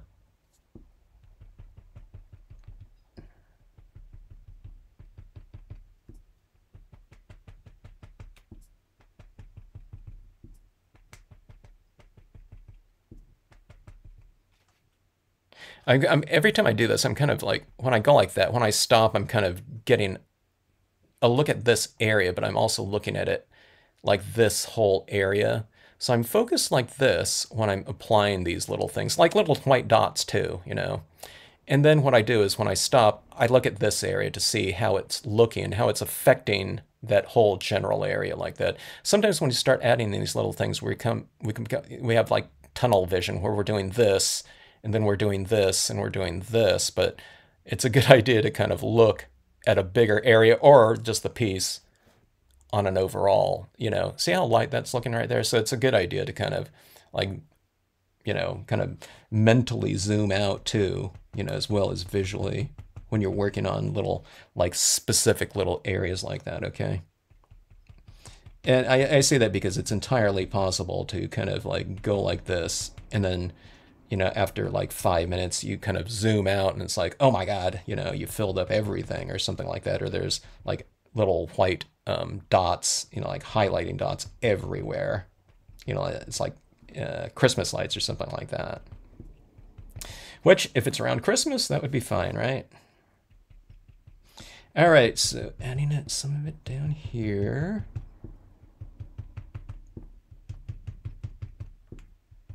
This might look good with a little tiny bit of a, I'm still thinking about that um, uh, fence down here. Now see this photograph too, it wasn't inherently very light down here, so this is a way to kind of introduce some light back into it, okay? All right, uh, here's what, one of the things that I really wanted to do on that other piece, but I just didn't have the opportunity because it was already a little bit too dark. Or no, it was too light. Um, I wanted to bring out this rooftop a little bit more, okay? So this is a perfect opportunity for doing something like that. So I'm just going to take this, eh, let's go, let's do it in three sides like this, okay? Okay, so this is before. So that rooftop, it's just not, it's just not kind of standing out a little bit. Um, or it's, stand, it's not standing out enough. So I'm just going to mask over. You don't need to cut out a, like a post-it note mask or anything like that. You just go like that, right? And then you don't apply an equal layer of that uh, white pigment ink over the whole thing. You just kind of hit it. And see, I'm just doing a very light application of it right now. And um, you can, you know, you can check it out while you're doing that, but um, see, like something like that. And now see, look, look at that light on there. Doesn't that look like so much better? But look at this right here. See, I didn't need to do the whole thing. You just, I just went like this, like that, and I concentrated a little bit more in the front, but then see how it transitions like that? So now you have that, you know, the top of the rooftop catching that light. And then it's the same type of light because the same pigment ink that you used up in the light source. So it looks, you know, like it's coming down like that. Okay.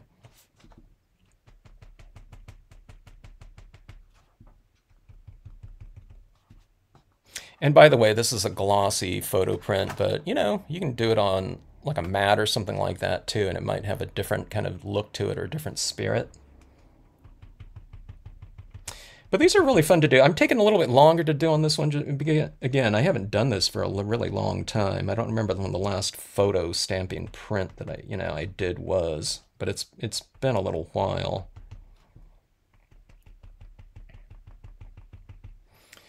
All right, and let's see. Yeah, I'm just kind of adding some of these over the trees in the background like that a little bit more, and it kind of pushes them in the distance, I think, from a visual standpoint, visual depth standpoint, like that.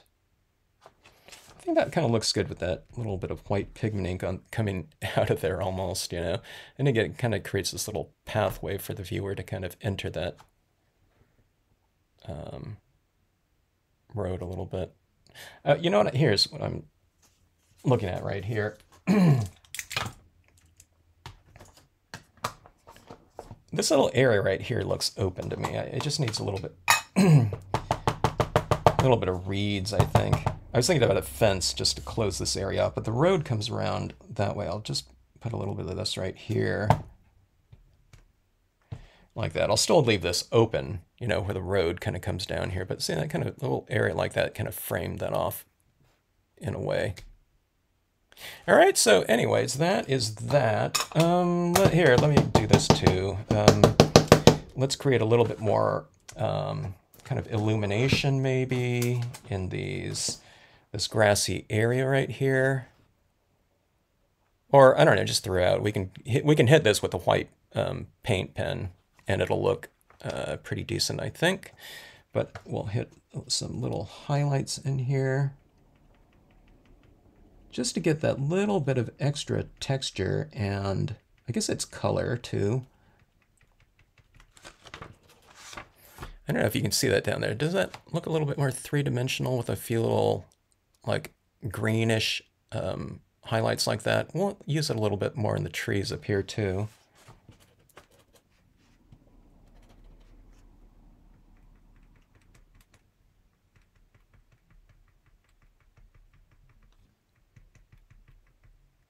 you can kind of manipulate these pens where it's like giving you like a really, really tiny dot too. Like I'm just barely touching it down on the uh, surface of the page.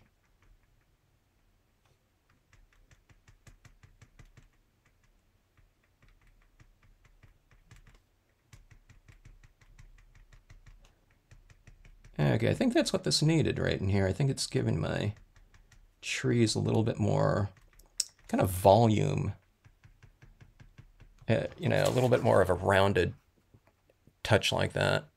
And see, look at it like that.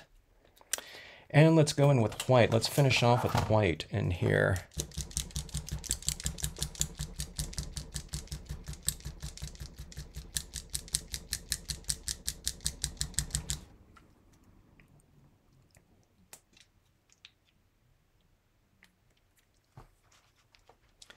Thanks for helping out with that description on those platforms. The best thing, you know, the best thing for those uh, stamping platforms is to watch a video on it, you know. It's like a picture tells a thousand words, but they're describing it, you know, perfectly like that. It's like this hinged, you know, printing mechanism, but uh, there's different purposes for it in terms of uh, um, stamp positioning, the repetition of imagery to get, you know, a better impression. Um,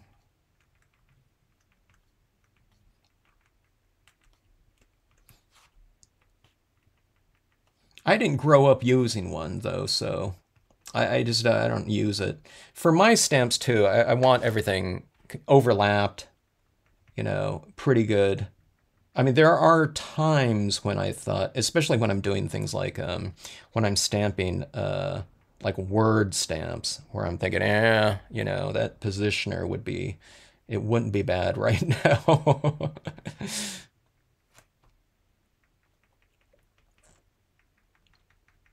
Okay, now just like on um, with uh, uh, any other types of papers, my white pigment ink kind of foggy little effect, it dries darker looking and more see-through, okay, than um, than what it looks like when it's been freshly applied. So I'll, let me just hit it with a couple little finishing touches too.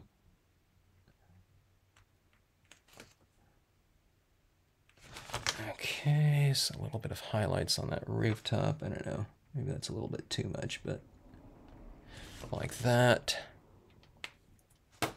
And let's hit a little bit more here. Okay. How about right down here? And just to draw the viewer's eye in, a little bit more in here. I think that area up there looks okay. It's already in kind of in, oops, that's way too much. I wasn't, I wasn't, uh, I didn't focus in, or I didn't focus out. All right, there we go. How did that get so slathery wet like that?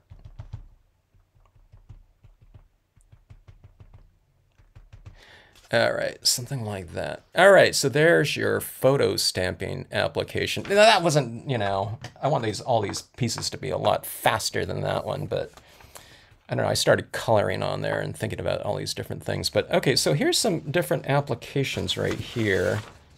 All right. Now on this one right here, I I was thinking about adding a lot more colors, but that would be if I was using kind of a much lighter um, foundation, okay? If the if it, this area down here is like all in a lot of whites, then I was thinking about adding in some autumn tones like that and really taking advantage of the uh, the ability to blend like reds, yellows, oranges, and that, you know, browns or whatever in those leaves like that. Okay, so if I was do do something like that, I just like that dramatic lighting up there, so I kind of went with that one. This one would be kind of interesting with some light beams coming down in here too. I don't.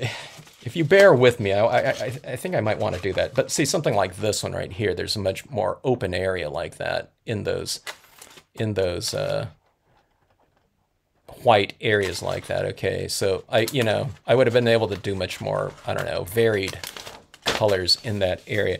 All right, this isn't going to take too long right here. This really is asking for some um, some light beams like this, okay?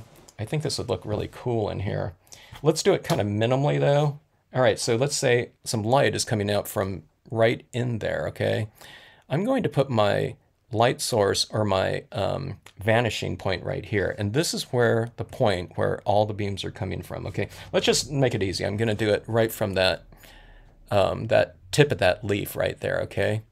But it's going to be coming out from behind these uh, clouds like there. They're already illuminated, so it's really, you know, going to be easy. So I'll have some like a beam coming out from here and like down this way. I'll have some beam go behind those trees and we'll have one coming in front of the trees. How about that? So it's like really kind of three-dimensional like that. Okay. Um, time to break out those stamps, uh, uh, Diane.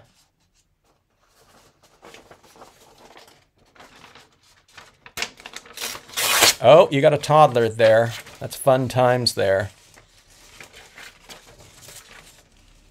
Fruit smoothie and cartoon. Oh my gosh, those are such, that sounds like a great time there. The times with the toddler. That went, uh, that went too fast. Everyone always told me it goes really fast, so I made sure to not take it for granted there. My, uh, my teen um, is working his first job, and uh, he started. Uh, what day is today? Thursday. Started on Monday.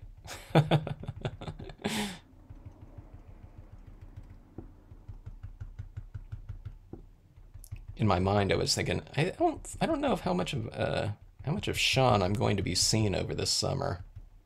He's, he's going to always be at the gym.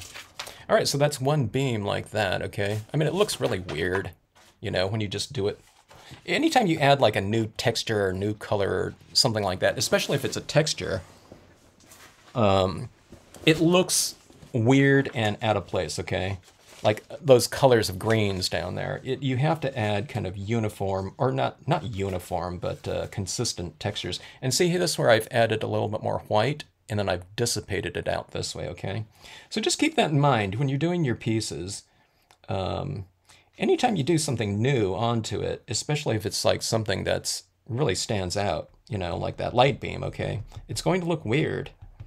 Anytime it's a new color, or one thing, that's where people that are doing these types of processes a lot of times, they kind of get panicky. They like, whoa, you know, that doesn't look good. And a lot of times it doesn't look good if it's only in one area, okay? So you just kind of uh, keep building it up you know, like white pigment ink or something like that, a little bit of fog, it's like, what? That doesn't look right. It's like totally out of place there. Um, let's see. Okay, so I'm designing my beams and uh, kind of putting them where I think I want to put it. Hello, Sophia. Uh, I am sitting with my feet tucked under.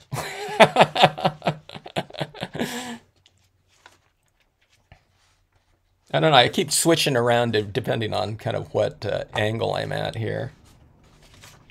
Okay, so let's do a beam coming, uh, let's put this one, let's put a couple beams or one beam like going behind these trees like this, okay? These ones kind of going behind the beam uh, trees. And, and then I'll have this, another beam like coming in front of it, okay?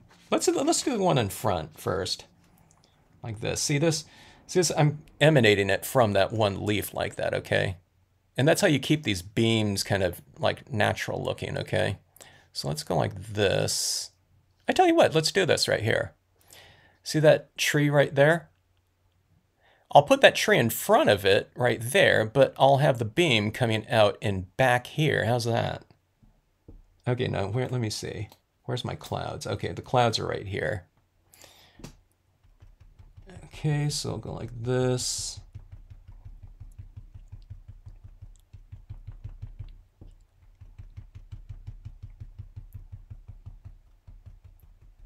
And I'm going to try to wrap it around that tree so the tree is kind of, uh, you know, influencing that beam a little bit. Okay, but here's what I want. You see, I'm kind of adding more right up here.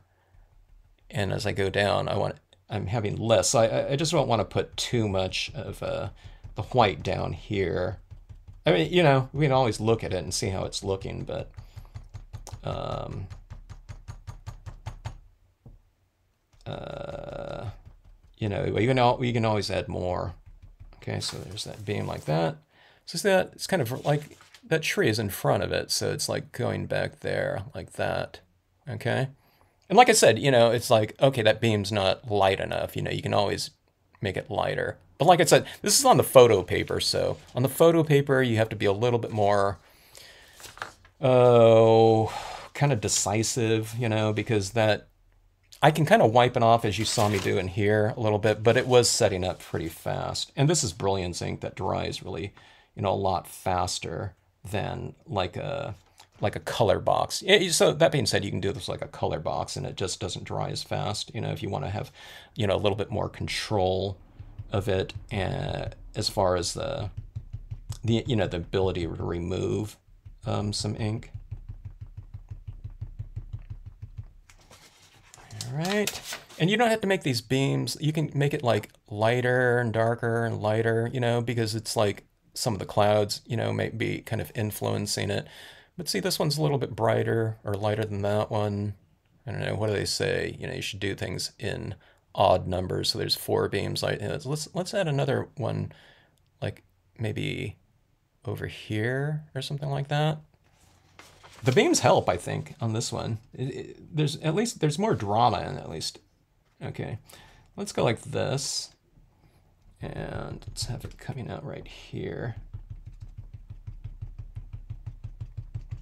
Uh, your vocabulary word of the day is uh, is a crepuscular rays. All right, that's like that. All right. Okay, so with the rays in there, I'm just going to do a little tweak here too. I'm going to put a little bit more kind of highlighting on a couple little objects that are kind of within the path of this beam right here. So I'll just kind of illuminate them a little bit more with a little bit more acrylic ink like so. But I think that, I don't know, it changed the spirit of it. That scene really became about the beams, didn't it? But I, I don't know, it just seemed perfect for this uh, this particular cloud like this. So, okay, so that being said, I mean, there's a lot of different opportunities when you're working with um, photographs like this. So like this one right here, here's a really bright area. You can have beams coming out from that, you know, you can have some, just some trees down here, you know, like three pine trees or something like that. You know, so if you look at any of these things like this, I mean, some of them, there's a much more definitive area you can have like that covered bridge like this, and the beams could be like going upwards too, like that. That would be a perfect spot. You see where that really lit area is right in here? You can have some beams going upward in the sky too. They don't always have to be coming down. Um, you know, the, you know, it's just a lower thing. Here's a perfect spot right in here. You have the beams going. This would be perfect for, you know, like this, and the beams can be going up. And that's like this, look at this perfect opportunity down here for like this staging, you know. If you did a beam on this, you, you wouldn't be able to see it as much. It'd be much more subtle because it's lighter in here in general. I don't know, maybe this one, you, you know, it would be overkill to put those beams in there. But that being said, you know, when you stamp your image over the front of it in black, if you want to bring that light from the background into the foreground, you just throw a beam, you know, a few beams over it like that. Anyway,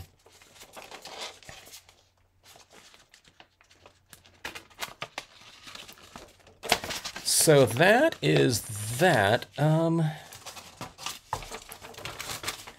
three different cards like this. Um, I didn't, these weren't, you know, these weren't, you know, I, we've loaded these up, you know, in terms of uh, some different um, techniques on here too. I mean, they're not, they're not short of technique, you know in terms of uh, visuals. And I mean, we have embossing on here. Um, splatter paint, here's that splatter painting in there too. Um, as far as uh, stars go, one of the things about splatter painting too, you can't really, it's really hard to control. Um, I can control the amount of splatter I'm doing, okay? I can just flick off onto something you know, some scratch paper, dark scratch paper. And then when it just gets really light and sparingly, you know what I mean, where hardly anything's coming up, then you can go on there. But it's hard to, uh, to control the size of, uh, you know, the dots. So I like to add in some variation like this. Let's go like that. There's uh, that and three there. Okay, I'm gonna Anyone know what uh, constellation that is?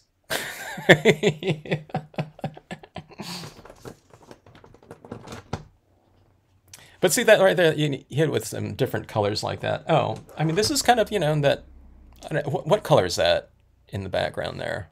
It's not mauve, but I don't know. But here's like a pink, you know, variation. And it's kind of that pinkish tinge, right? So you can add in a related tone, you know, up there. I mean, it's really subtle, but I mean, if it has those colors up there, why not add in some of those extra colors like that into the mix? If you have these pens like that, here's like this color right here. Got to shake it up, but you know, I use that purple tinge up there. And uh, I think adding in these little things like this, this, this would be a really great um, place to add like a couple little crystals up there too, I think. I haven't done the crystals in a while, but um,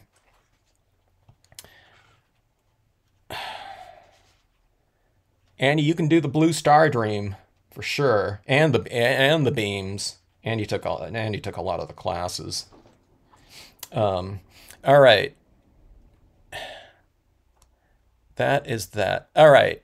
Uh, yeah, wine, Burgundy. Okay, so uh, I need. Let's go from um, here. We we started. Did we do th this one was first, right? This one was second. This one was the third piece. All right, folks. Names for these.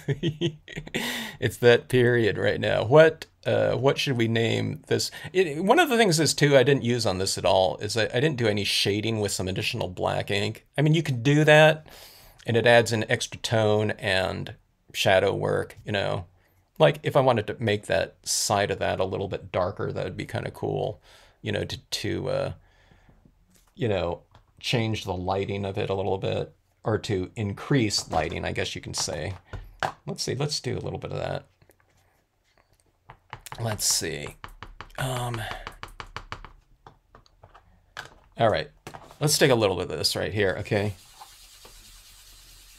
I want to have control over this. I don't want to go in with this blob at this point in time, but let's just darken in the side of this. See, I'm, I'm just darkening it in with a little bit of a, you know, really faint black right here, like that. Okay, so that's, you know, it's a little bit darker on the side. I made it a little bit blotchy there, but See that it just makes that you know kind of covered bridge look a little bit more uh, I don't know three dimensional I guess like that. Uh, you know, black colored pencil would have been fine too. Um, and it, it works on the Stardream too. Stardreams, um, it's uh, it's porous enough. Let me let me just get a little bit more variation onto that. I should I should use my pencil on the Stardream a little bit more, that works really good. Okay, so uh, let me see. Frosty Blue Morning. That's a good one. It kind of fits the uh, kind of texturing of this. Are there any other Midnight Covered Bridge? Hmm, that's a good one too. The, the naming thing, it, it makes it tough because a lot of you guys come up with really great and fitting names like that.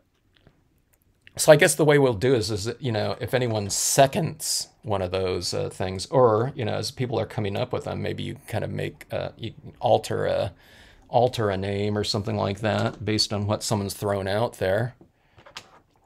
Um, let's see. Multiplicities Frosty's Blue Morning. Okay. Oh, Frosty Blue Morning. Well, there's a second for that one. Oh, yeah. Well, that's, uh, that would be a good, yeah, covered bridge trio for the, for all three as a whole like that. Oh, Blue Mist. Okay, so that was a Blue Mist. Alaska sky, beaming light. Okay, so let's start off with this one right here. Is are we going with the frosty blue morning? Two. There was two votes for that one, I, I think, right? It's that? Yeah, PJB and uh, Multiplicity said that frosty blue morning. Here's what happens. May I have a bad memory, so let's see. Frosty blue morning. Frosty blue morning.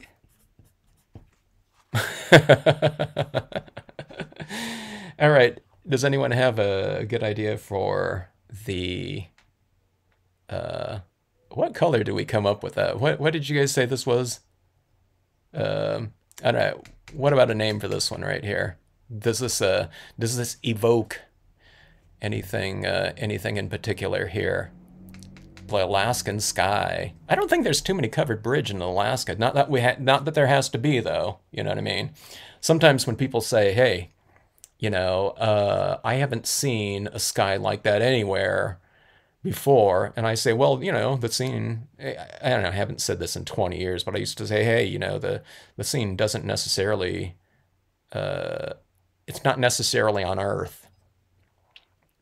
Alaska sky. Okay, it's frosty blue morning. Is that what we call it? Frosty blue morning. Okay, we got that one. I'm gonna car. I'm gonna format these into the cards too at some point in time. They'll look a lot better um, on cards, you know. Um, Midnight cover. There was Alaska Sky. This one's midnight cover right here. Middle one evokes a sleepy, spooky, sleepy hollow. We need that character in the foreground here carrying that pumpkin, the headless uh, You gotta, you gotta look at that one, uh, I think I have two or three covered bridge scenes in the spirit of uh, Sleepy Hollow. I think I did a, I did a really big one. I think, and then I think I did a quick version of it, but I think I did another one the year after that too, and all kind of in that uh, you know that uh, you know dark looking um, thing. Oh, Obi Wan, yeah, that's right. That came out like midnight last night, I think. Have a good watch on that one. Um, mystical being, murky morning. So there's two for Alaskan Sky. I got a murky morning, spooky sleepy hollow, uh, mystical being. Did I say mystical being? Twilight Bridges. Uh oh. That sounds pretty good too. Which one are we going with here?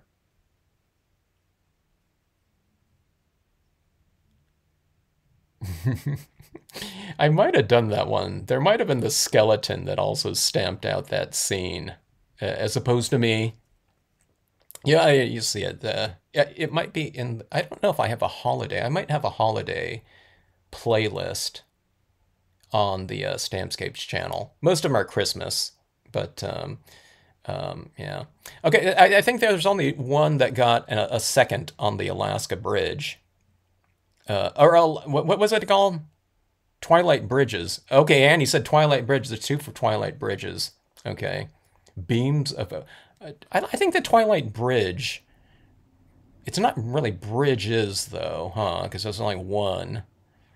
Let's see.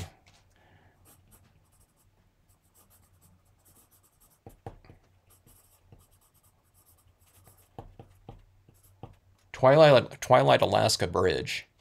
Alaska Twilight. What about that? Alaskan Twilight Bridge. AK.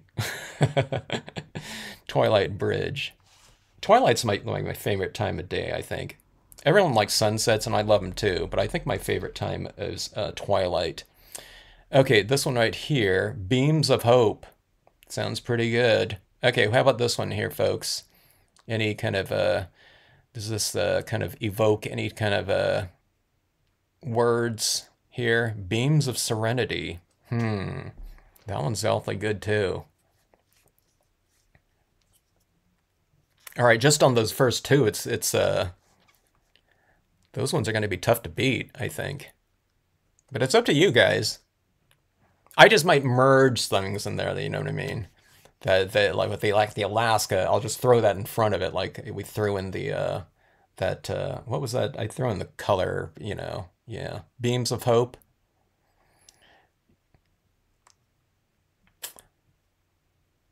Is that the winner right there? Beams of Hope. That's better than Beams of Despair, I think.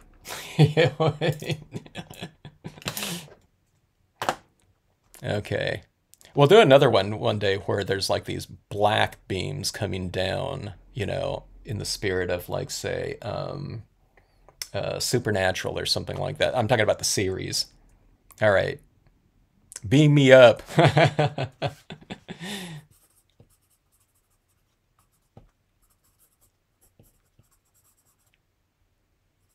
All right, how does that sound? So we have, uh, what was it again?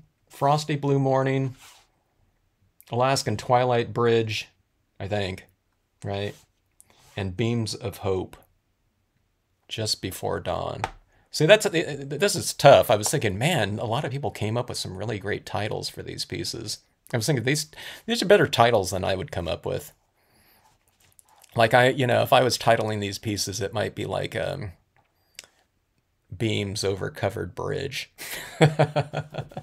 Not always. I try to get more a little bit more poetic than that, but a lot of times it's you know, it's just a very straight uh, kind of a you know sterile kind of description of the the piece. You know, moon, cloud, and bridge. You know.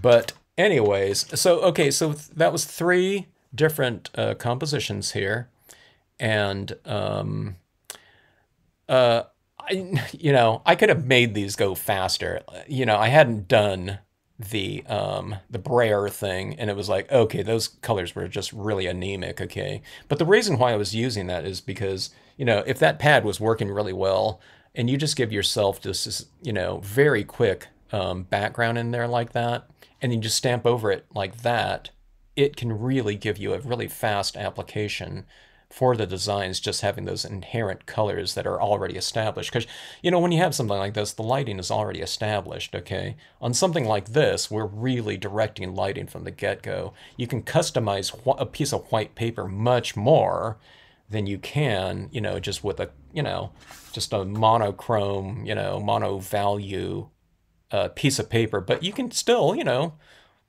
go and manipulate um, your values across there. It's just that you're not customizing it through a bunch of different hue in here, okay?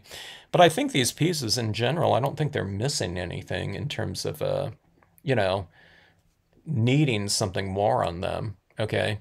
Um, and you can really, you know, you can almost do these things in mass production, but it's little things like, you know, embossing like that, you know, where you can add in a lot of extra depth just with one extra step that's, you know, pretty easy to do. Or in here, you know, we had that, you know, you just put a few more dots with your, you know, your paint pens or something like that in there just to make it a little bit extra special. Something like this too.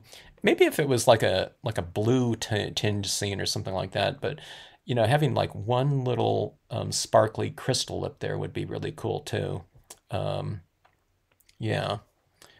But uh, did we change the name there? Heavenly Beams do you want that one right there? That sounds pretty good, actually, to throw in the heavenly.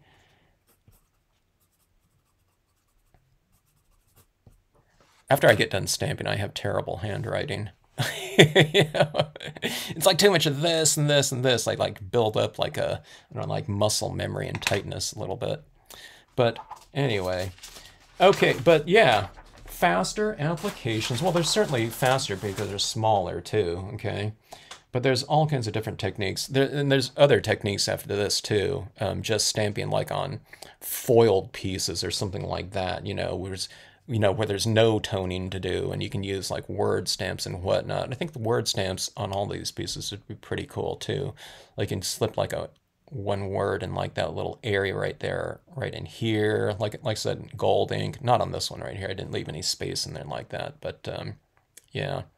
Okay, good night, Froggy Fresh. And I think, yeah, speaking of that, why don't we end this video right here?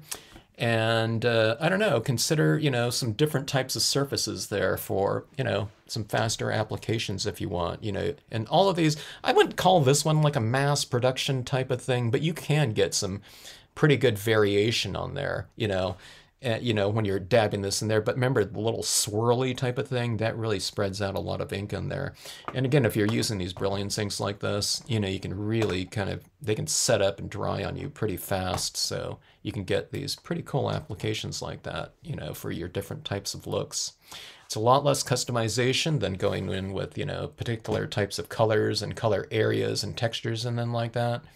But again, you know, it's fun to work these things like that. Like this one right here was really fun, you know, adding in those beams like that. So um, yeah, photo stamping is pretty awesome. And uh, like I said, it's perfect uh, um, surface for um, your alcohol inks that you probably already have too. So yeah. All right, so thanks so much again, everyone, for joining in. Always great to see all of you. For those of you that, uh, you know, uh, you're more uh, watching in the background and not posting. Thanks to all of you for um, checking out the video and uh, uh logging in and whatever, subscribing, uh, notifications bell, and all that type of fun stuff. Cindy K, Crystal Fire, Candy, Barrett, Froggy Fresh, I already left probably. Annie, great seeing you all and hopefully we'll see you on the next uh, the next uh, live stream. Thanks, Christine. Glad you like them all. Uh, good night, good morning, and good afternoon, wherever you might be. All right, signing off. Uh, good night, Diana. Thanks again for joining in. Oh yeah, let's say thanks.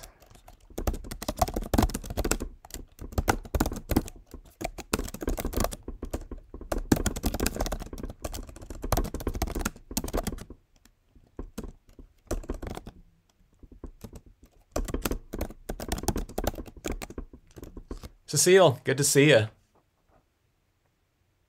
Thanks for uh, joining in. Oh, Jeannie. Uh, Jeannie, I didn't put you to sleep yet. Maybe it's a little bit too early for you to fall asleep to the to the to the uh, to the vids. good night, Darcy. Oh, you were at the supermarket. Great. All right. Good night, everyone.